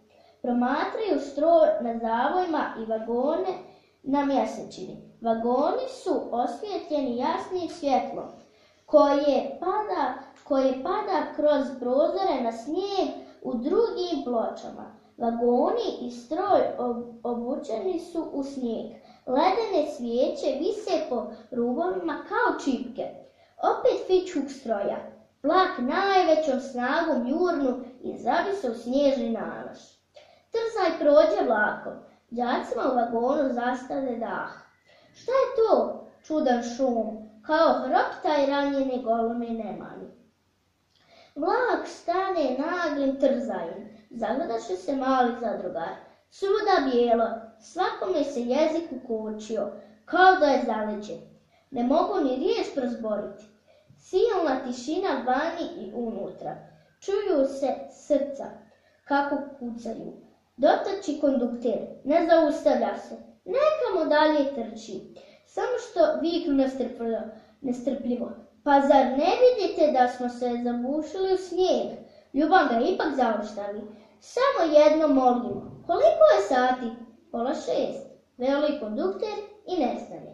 Saperot, kliknu ljubav. To smo mi onda baš na pola puta. Pa ništa, hajdemo djeco nešto malo zagristi, ali samo malo. Tko zna šta nas još čeka. Dok budemo žvakali, lakše ćemo razmišljati o našoj nezgodi. Sjetiše se i Dušana. Ljuban je otišao pogledati onamo u drugi razred. Vratio se brzo, govori veselo. Spavaj dalje. Mari, on što smo se mi zabušili u snijeg. Svi se malo nasmiješe i tako hrabriše. Reče im još Ljuban, dobar tek i prijatno vam bilo. Hvala, isto tako, uzvratiše oni njemu, baciše se da pojedu jela, koja bi se najprije mogla pokvariti. Ne nestajte kao praščići, opomeni ih Jozo. U taj čas mu se izmekne jaje iz ruku i padne na pod. Kako je bilo malo, premekano, skuhano, razletilo se po podu. Zanijemio Jozo i tužno gleda u razbijeno jaje. Dobar tek, Jozo! Podruguju se drugovi. Gledaj da ne mljatkaš kao praštić. Napokon, ako te glad baš tako bude morila, ima vani bijelog snijega do grla. Čiste destilirane vodice. Dobaci neki. Dobije ipak Jozo komadić mesa mjesto propaštenog jada. Kad za, zaštuje, kad zašut, zaštuje se đaci, začula se vani vika željezničkog osoblja. Ljubav se zagrnu, a s njim još nekoliko dječaka i djevojčica i izađuši iz vagona na ledeni uzduh noći da vide šta je. Dječje ruke. Izađoše mali djačići iz vagona na južnu stranu. Cijela ta strana vlaka bila je slobodna. Stroj i prva tri vagona zarili se sa sjeverne strane u snijeg gotovo do, do prozora. Čim je ovih nekoliko djačića izašlo van, odmah se djevojčice vratiše natrag u vagon, jer je vani studen kidala uši, ledila nos, udarala po očima i davila pluća. Disati se nije dalo. Snijeg pod nogama škripao je, kao da je živ. Cvili i jedva se po njemu živim, živom i hoda. Polja su sva pod de, debelim ledenim snijegom. Proviruju samo suhi češari i crne grane trnove živice uz međe. Nebo vedro sa zvijezdama koje drhture i sa zaleđenim mjesecom. Nebo plavo i napito, činiti se, puknut će u studeni i sasuće se na zemlju ledenim zvekitom. Ljubav se zavukao sav u ovratnik kaputa. Vidiš mu samo oči, čuješ mu i glas. Mumlja pod kaputom. Juhaj, sigurno je više od 20 stupnjeva ispod ništice. Jedva je ljubav s trojicom drugova stigao do stroja. Grdosija crna zagrizla se sa sjeverne strane do polovine u snijeg. Isparuje na sve strane. Na njoj strojovođa i ložač psuju i mlate rukama.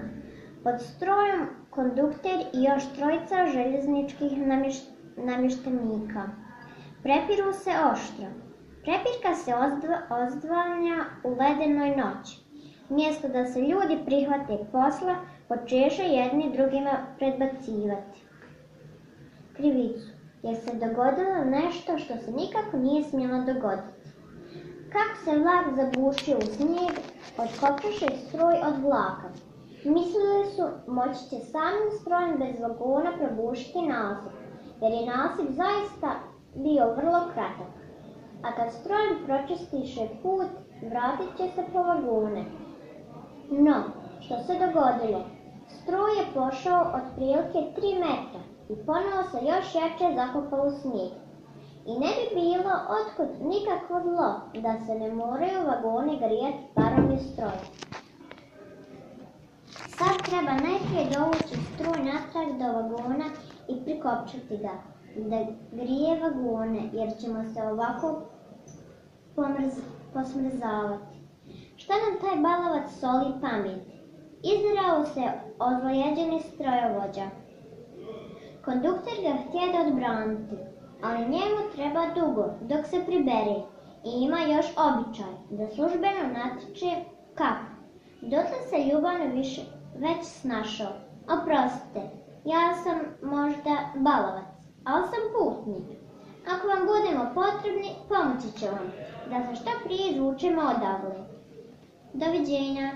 Odoše dječaci prozirli. Dočekala ih je ostala zadruga s vikom. Hladno je, hladno je. Cijevi se sve slabije griju. Doba- sve okupi na dogovor. Kaže im da su odsječeni od stroja i da se vagone više ne mogu grijati. Bilo ih je nekoliko koji su odmah zaplakali. Neki su gotovo zaurlali. Tu vam dreka ne pomaže, veli Ljuban. Treba nešto smisliti. Da li biste vi htjeli prihvatiti jedan moj prijedlog? Da čujemo, da čujemo. Ima nas dosta. Svi smo zdravi osim dušana. Tamo željezničari imaju samo dvije lo- lopate. Oni odgr- odgrću snijeg. To ide presporo. Čekat ćemo ovdje u hladnim vagonima do jutra. Morali bismo i mi na posao. Hoćemo, hoćemo. Kliktala je zadruga, pa i oni koji su plakali. Van je najmanje 20 stupnjeva ispod ništici. Upozoruje ih Ljuban.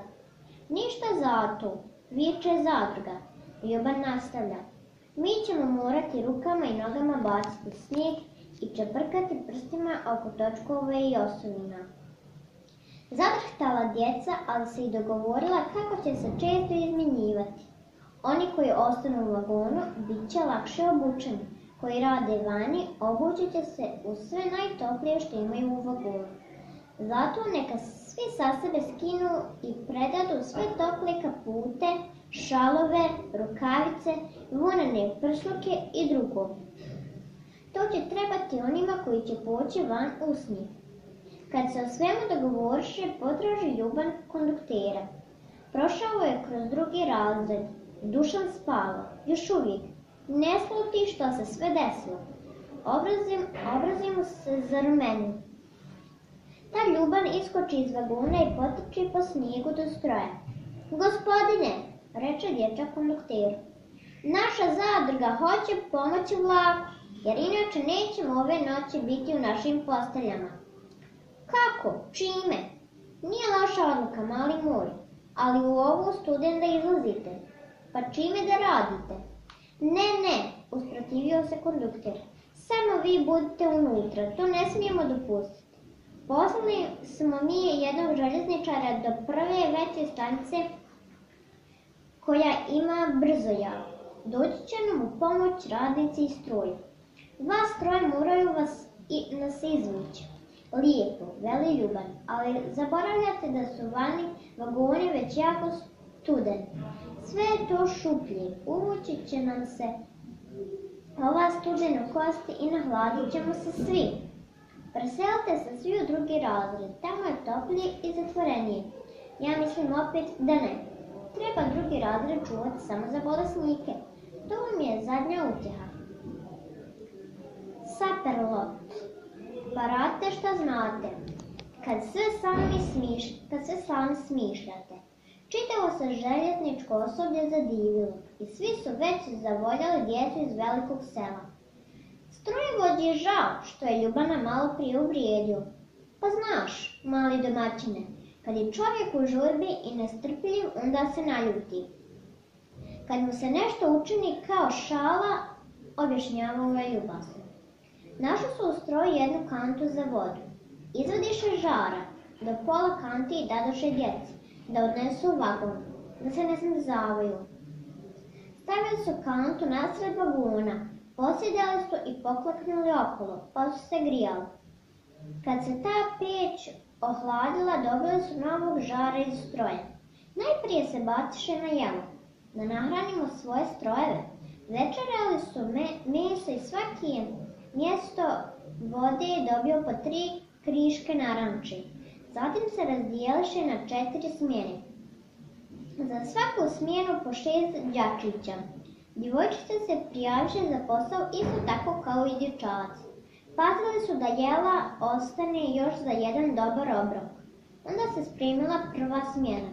Ljuban i s njim tri dječaka i, tri, i dvije djevojčice.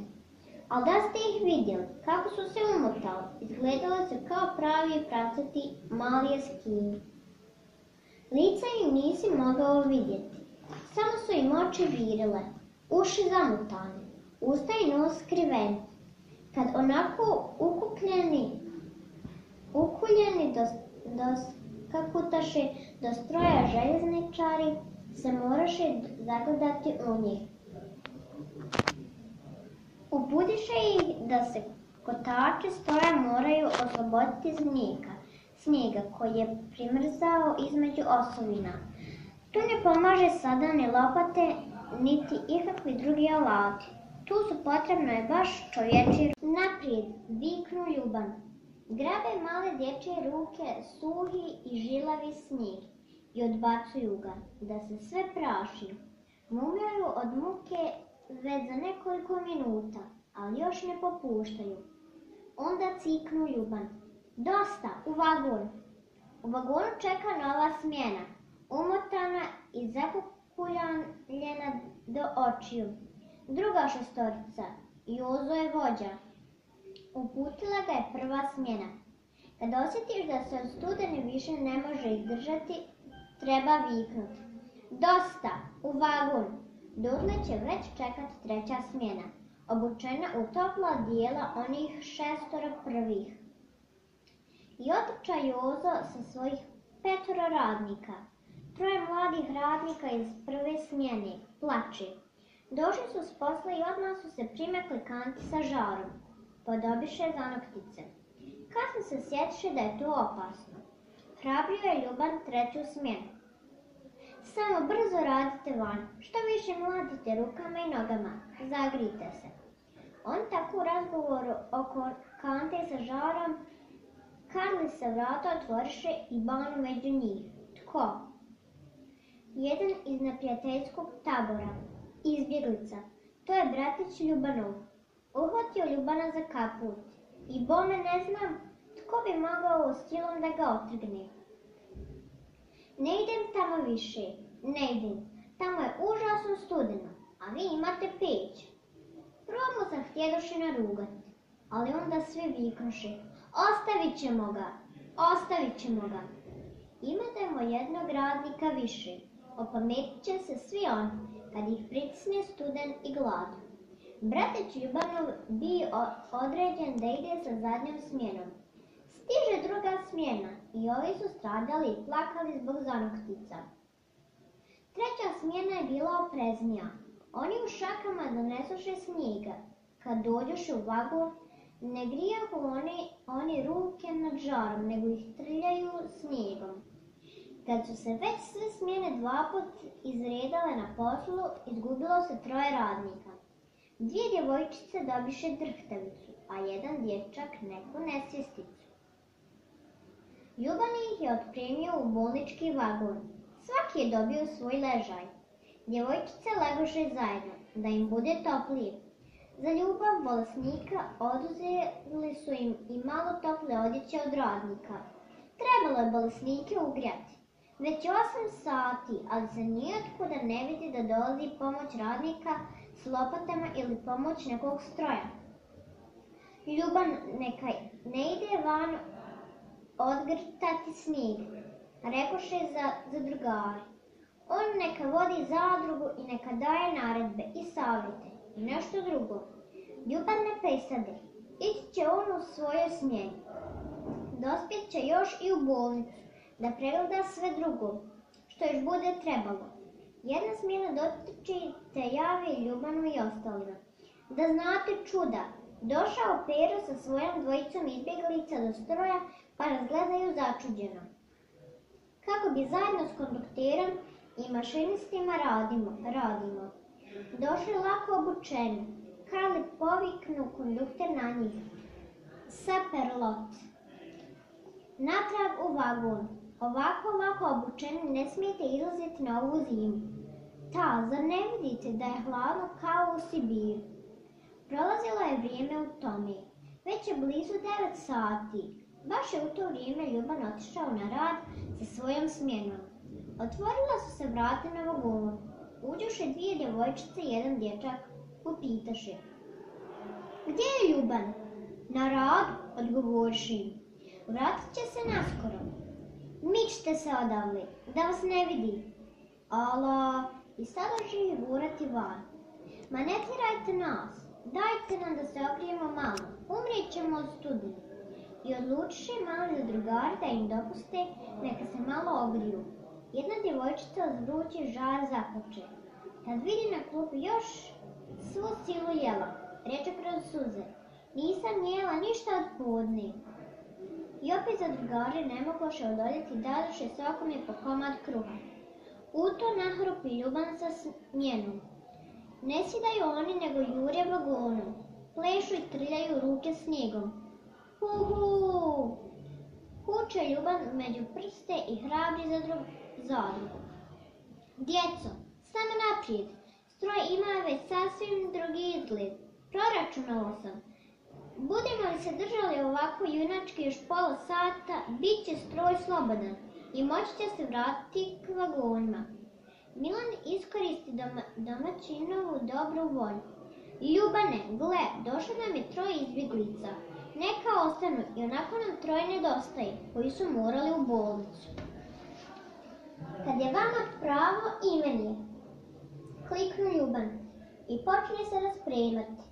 I u čas kad htjede pregledati u bolnicu, otvore se vrata na vagon i uleti neko pisance u vagon. Poveći je tu papirić i na njemu piše Zadruzi Ljubanovac. Molim vas, pripremite me natrag.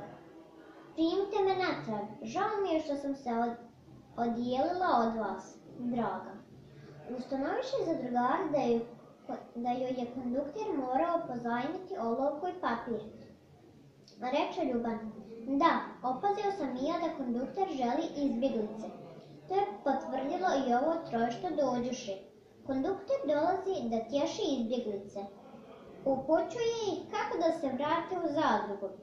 Jedini je još Pero prkosi. Kondukter njega ne voli i stalno ga nagovara na Saperlot. Nasmijala zadruga tome i otpisala je na istom papiru s druge strane. Izbjeglice dragu. Ostani ti tamo gdje jesi. Pero i draga ne trebaju nas, ne trebamo ni mi njih. Zadruga Ljubanovac. Zamisli se Ljuban i reče da se nismo prenaglili. Nismo li učinili nešto nelijepo, nelijepo. I sam se odnese jedan dječak za drugar no nije mogao odojeti srcu. Nije mu bilo dosta da samo zaviri, nego uđe u vagon. Troje ih je još tamo, Draga leži na klupi. Jedan, jedan dječak čkara po vagonu, gladan i ozjebao. Pira se zgurio u tamni kut i razmišlja. Kuje li osvet, smišlja li molbu za izmirenje? Ne možemo se pročitati s lica. Onaj mali što trčkaraše vagonom uhvati zadrugara za ruku.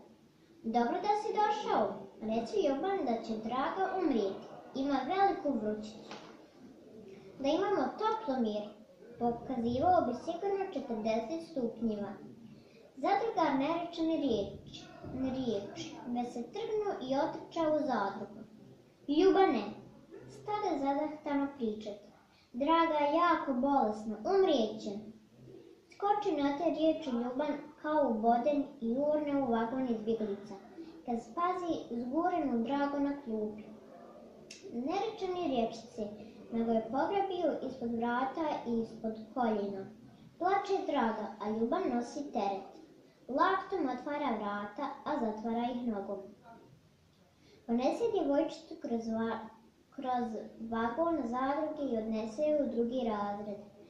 Nagrnula za njim mnogo djeci.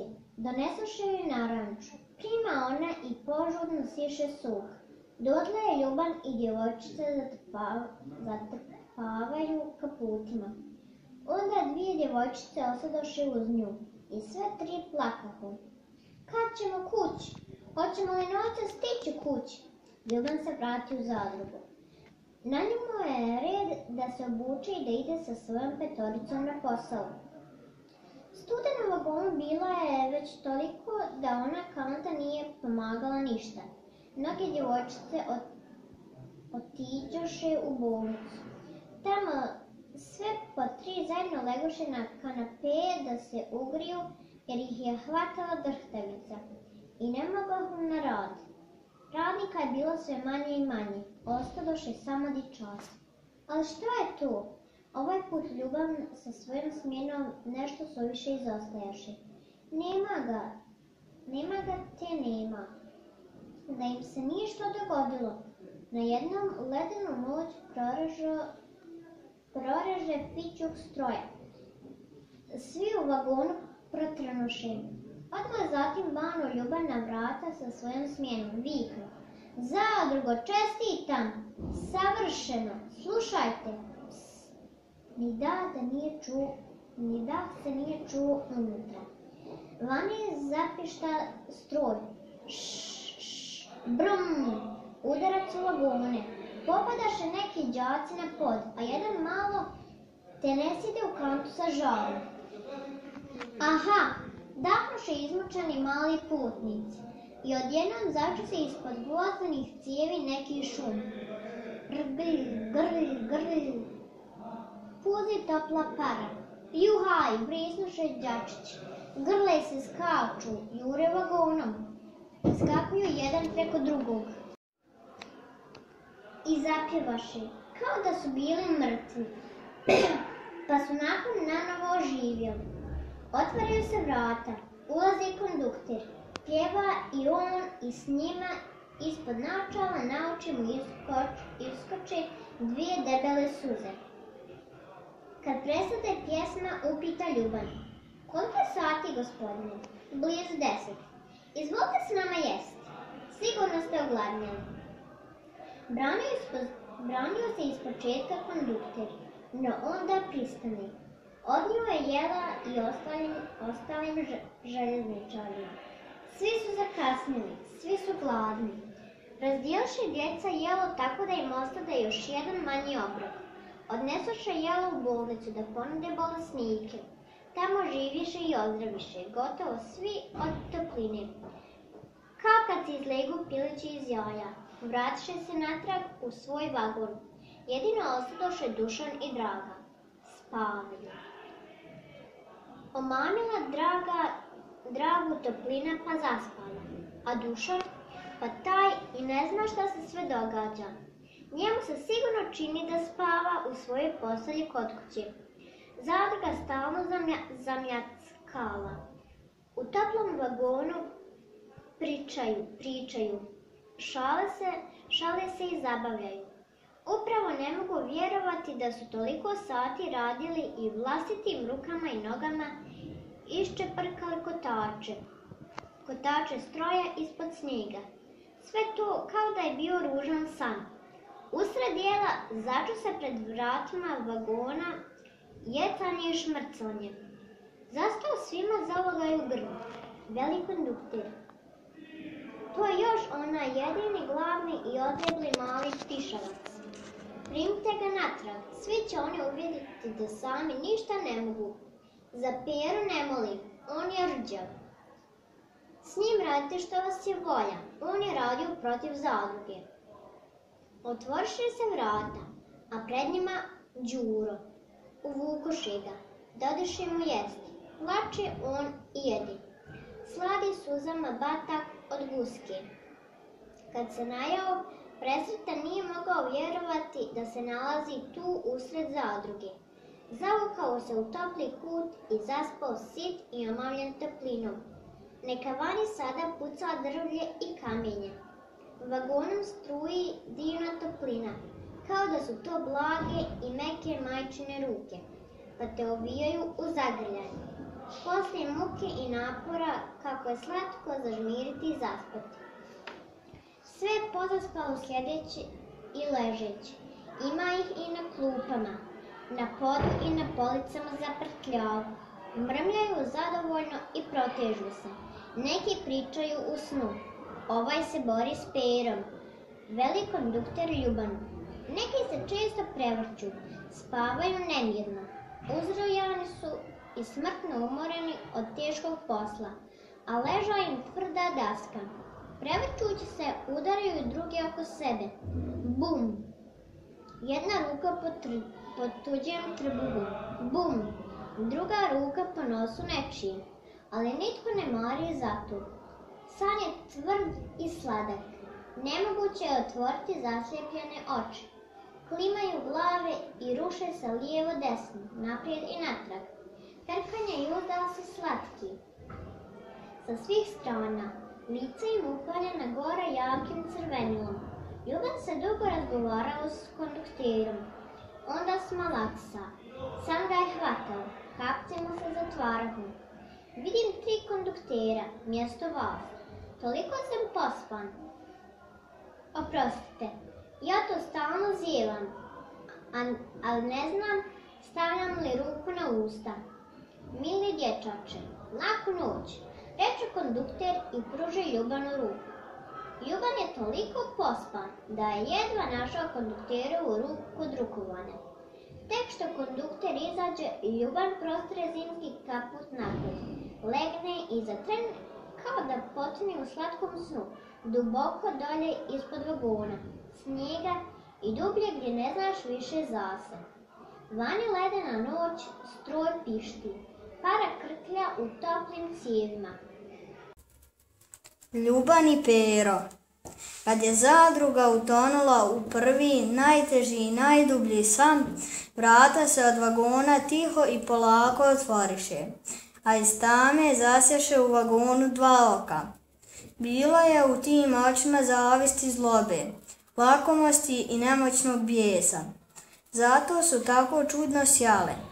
To su perine oči. Velike su i u strahu raširene, još jače. Uši oštro slušaju, pa ti se čini da još više štrče. Šešir na, natulio do ušiju, dugo gleda u vagun kroz napola otvorena vrata. Plazi hladnoća do onih koji spavaju blizu vrata. Osjećaju u snu studen, pa se miču i stišću jedan uz drugog. Perine oči uzmaknu natrag u mraku, boje se onda da ga ne opaze. Još jedno kratko vrijeme ne čuješ ništa dugo nego samo duboko disanje. Onda je pero naglo i na prstima ko koraknuo u vagon. Vrata je ostavio otvorena. Kao lopov obilazi djecu i klupe. Kad god se koji za drugar pomakne u snu, peri od straha prestane srce kucati. Skamenjuje se na mjestu, kad se sve smiri, on opet obilazi. Vidi se, traži nešto la, lakomim i gladnim pogledom. Ah, jeknu prigušeno. Opazi klupu s jelom, mesa ima tu, sira bijelog, lijepih kolača, žuti se hrpa, žuti se hrpa naranči. Kad se trebalo dijeliti Pero do duše nije htio da, da dade nešto od svojega. To je moje i ničije više, mislio je, pakosno. A sad, kad je sve svoje pojeo, zaboravio je da ovo nije njegovo. Da nije htio imati veze sa svima. Da i on bude zadrugar. Te da jede zajedničko zadruženo jalo. Provuče se između svojih drugova što ležahu na podu, još što kao zmija, pograbi jedan batak i lagano ga poče žvakat. Onda se u nekoj groznici sjeti da ne radi dobro. Treba što prije odavle. Zgrabi brže bolje svega čega se mogao dočepati, pa trpa i trpa u džepove. Naranče, toliko naranče. Ona ga sasvim zaslijepiše. Raskovča njedra uzima jednu, dvije, tri, pet komada i šest uđe. No onda čini mu se, predugo je tu, pa ima već dosta svega. Naglo i u strahu nespretno uhvati šestu naranču, ova se omakne, omakne i padne. I to padne upravo na glavu jednom dječaku. Saperlot. Škripnu ovaj zubima i okrenu se na drugu stranu. Gurne nogama druga do sebe, ovaj počne mrmljati i mljackati zubima, kao malo dijete kad siše. Uz ovog se i treći pomiče. Cijeli red djece stane se vrpo, vrpo ljutiti i smještati u stari položaj. Srce peri od straha skoči više, čak u grlo, davi ga. Oči, stakle, oči stakleno zure da ga zadruga uhvati u krađi, da skoči sva na njega. Nječili bi ga kao crva. Tako ukočen prostao je prostao je, je prostao je prostajao je nekoliko minuta. Onda se opet otkravio i pošao unutra, unatrag u vagon. Oprezno obilazi između zadru, zadrugara kao da lebdi u uzduhu. Sve u vagonu teško spava. Pero slobodnije diše i ne žuri mu se baš tako. Potraži očima ljuba, ljubana. Leži ovaj potrbuške u sredini vagona na podu. Stane perom nogom kraj ljubanovog uha. Pero je toliko bijesa na njega da, bu, da bi mu najradnije stao nogom na uho. Kad se ne bi bojao da će cijelu zadrugu dići protiv sebe. Zato odluči koraknuti dalje. U tom času zgrabiše dvije ruke perinu desnu nogu. Nokti se zabiše kao čavli. Ljuban to drži peru. Kao da je prirastao za njih. I stenje, stenje. Lopove jedan, nesrećom. Pero u groznom očaju trza nogom. Ljuban se diže i os, osovljuje na peru. Kad to ovaj vidje, udari lijevom nogom što je, što je jače mogao. Ljubana u rebra. Joj! Zastenja ljuban i smota se u klupko napod. No samo za tren. Zaboravlja na bol. Skoči i urne za perom. Ovaj nije mogao biti daleko. Jedan, dva, tri. Ljuban je u, u vagonu izbjeglica. Tuk, čuju se vrata. Pero pobježe. Na podu jedna naranđa Ljuban juri dalje. Tuk, tuk. Pero mora da je već u drugom vagonu. Ljuban je u hodniku tog vagona. Otvara vrata i odmah ustukne natrag. Vagon nije osvjetljen. Možda ga pero čeka i zasjede. Kroz otvorena vrata priučava oči na polu tamu i na mjesečinu u vagonu, a onda naglo jurne kroz vagon. Tuk, tuk, tuk, tuk. Četvoro vrata udaraju, to je pero već u novom vagonu. Opet jednu naranču nađe Ljuban na podu. Stane tu Ljuban u sredini vagona, kud će pero sada? Ovo je zadnji vagon. Kukavice, ne čekaj zasjede, dođi ovamo u vagon. Ima širine dosta, da se ogledamo. Tu sam potpuno sam, zadruga spava. To pot noge po snijegu, Ljuban skoči do prozora, vidi. Skočio pero iz vagona i trči južnom stranom po niskom snijegu gore prema stroj, stroj, stroju. Iskočio i Ljuban za njim van u, snijeg, u snijeg i vidi. Pero je prešao za drugim vagon. Ne ide ni u, bol, u bolnički, penje se u prvi osobni vagon. Ljuban se kao munja brzo stvari od prvog vagona. Kljoc, zatvori Pero vrata vagona. Smrtno gljed ukučen gleda, ukočeno gleda Ljubana.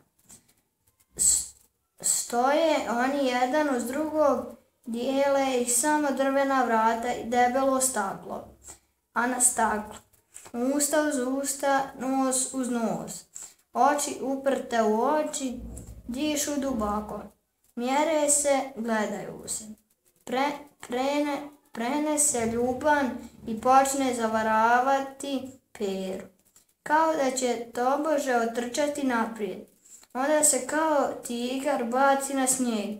Potrbuške plazi ispod vagona i kroz paru. Već je na drugoj strani. Evo ga na vratima donjeg dijela vagona. Tu je već i pero s druge strane stakla, sav zadihan iza, iza zaključanih vrata. Be, pokaže iznutra svoj jezik. Šic, nećeš me. Ako me i dohvatiš, imam nož uza se. Pa me onda tuži učitelju koliko te volja.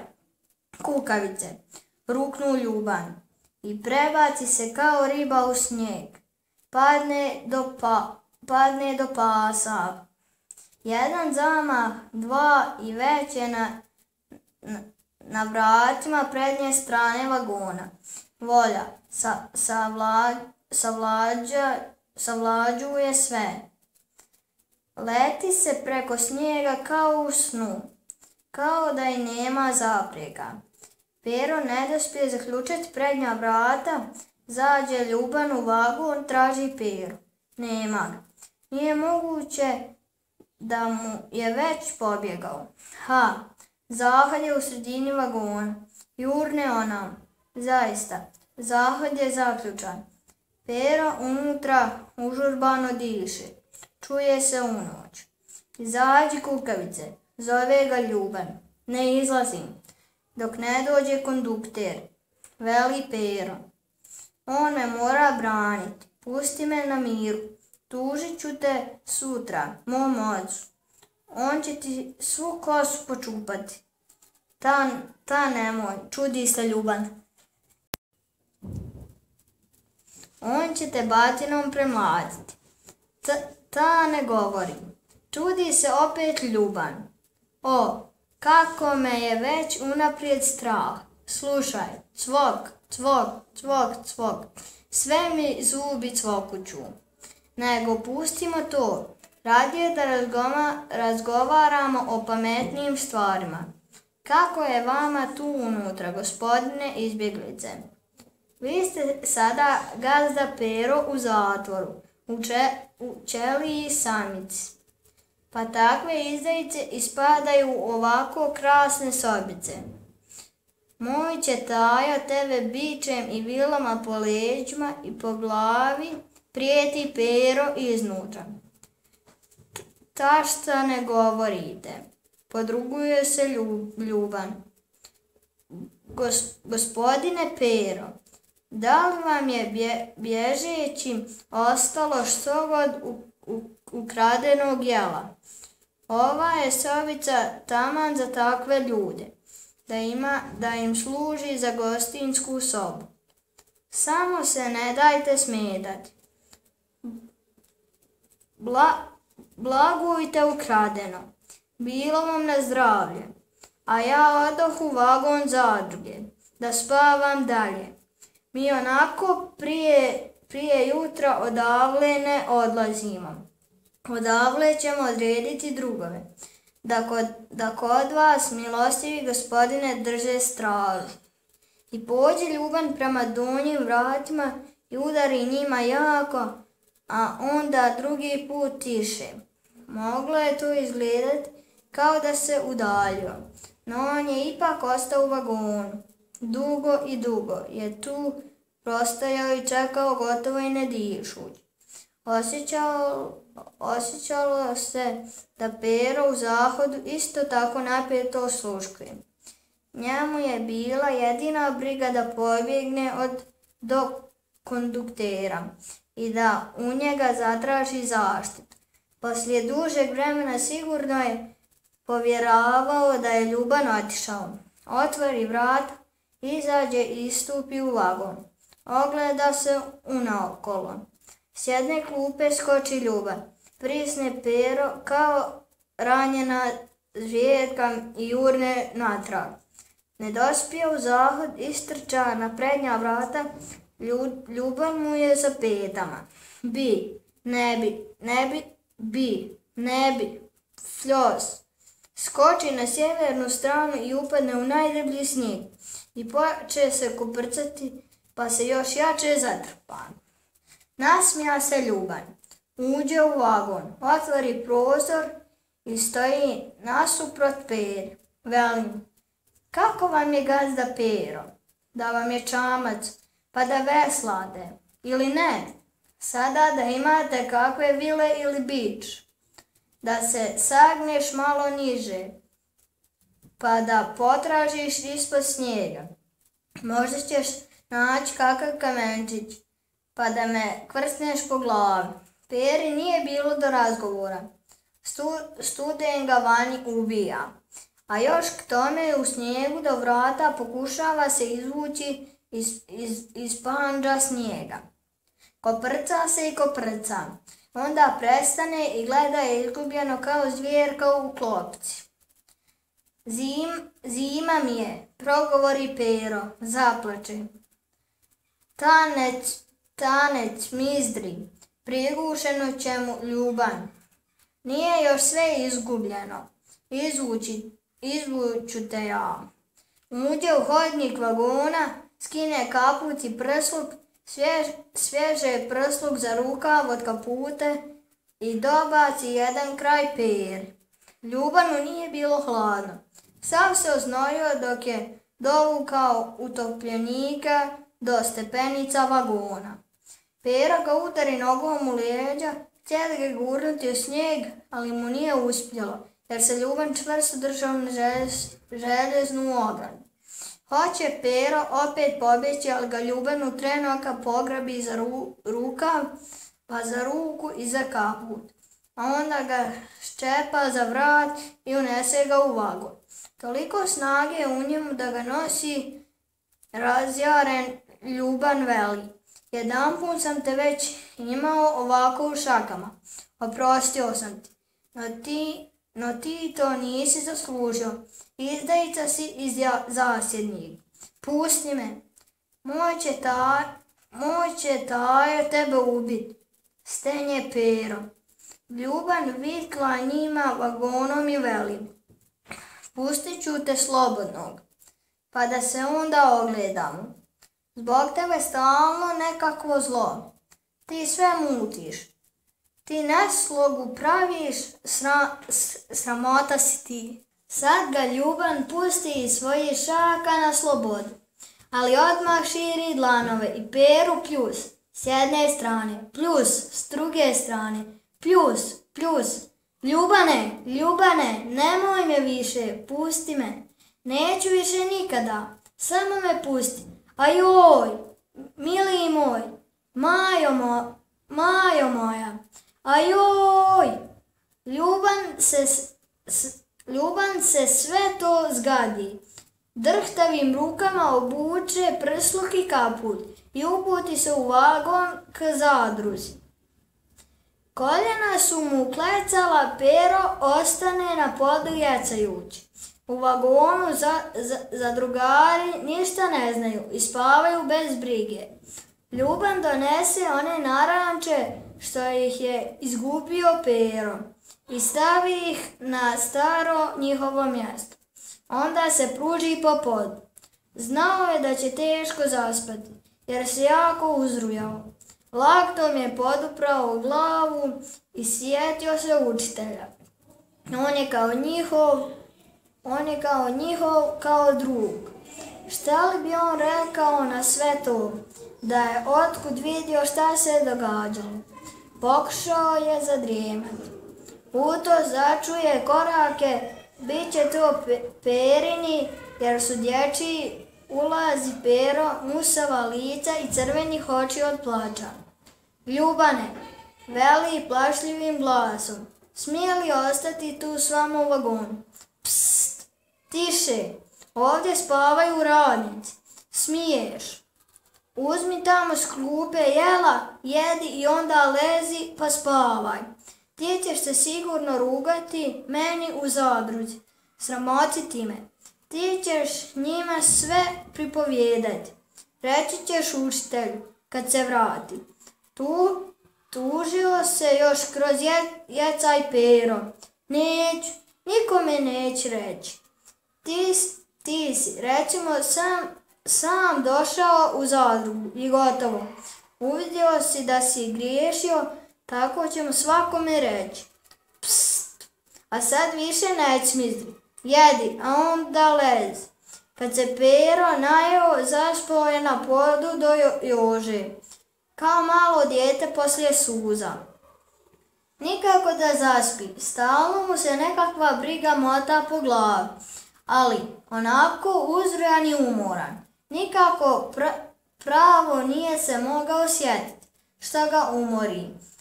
U to se začuje koraci, bit će kondukter. Ulazi i oprezno obilazi između djece sve na prstima. Ljuban mu se javi bez riječi. Mahne rukom i osmijehne se. Kondukter pozdravi vojnički.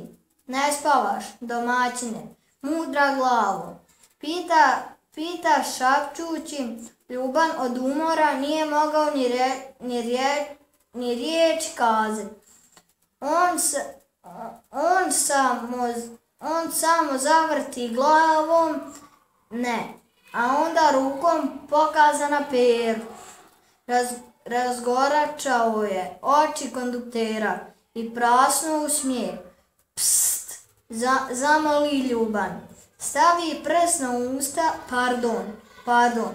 Kako je došao, molim lijepo, u zadrugu tajna valjalac. Pomislite samo, došao je sam, reče ljuban tiho, sapelot. To je sjajno, čestitam, ljubane. Ali sada i ti spavaj. Nadamo se da će za koji čas stići radnici s drugim strojem. Oni će za kratko vrijeme osloboditi prugu od snijega. Vi se ne brinite ništa. Stroj ima dosta ugljena i vode. Stići ćemo do velikog sela.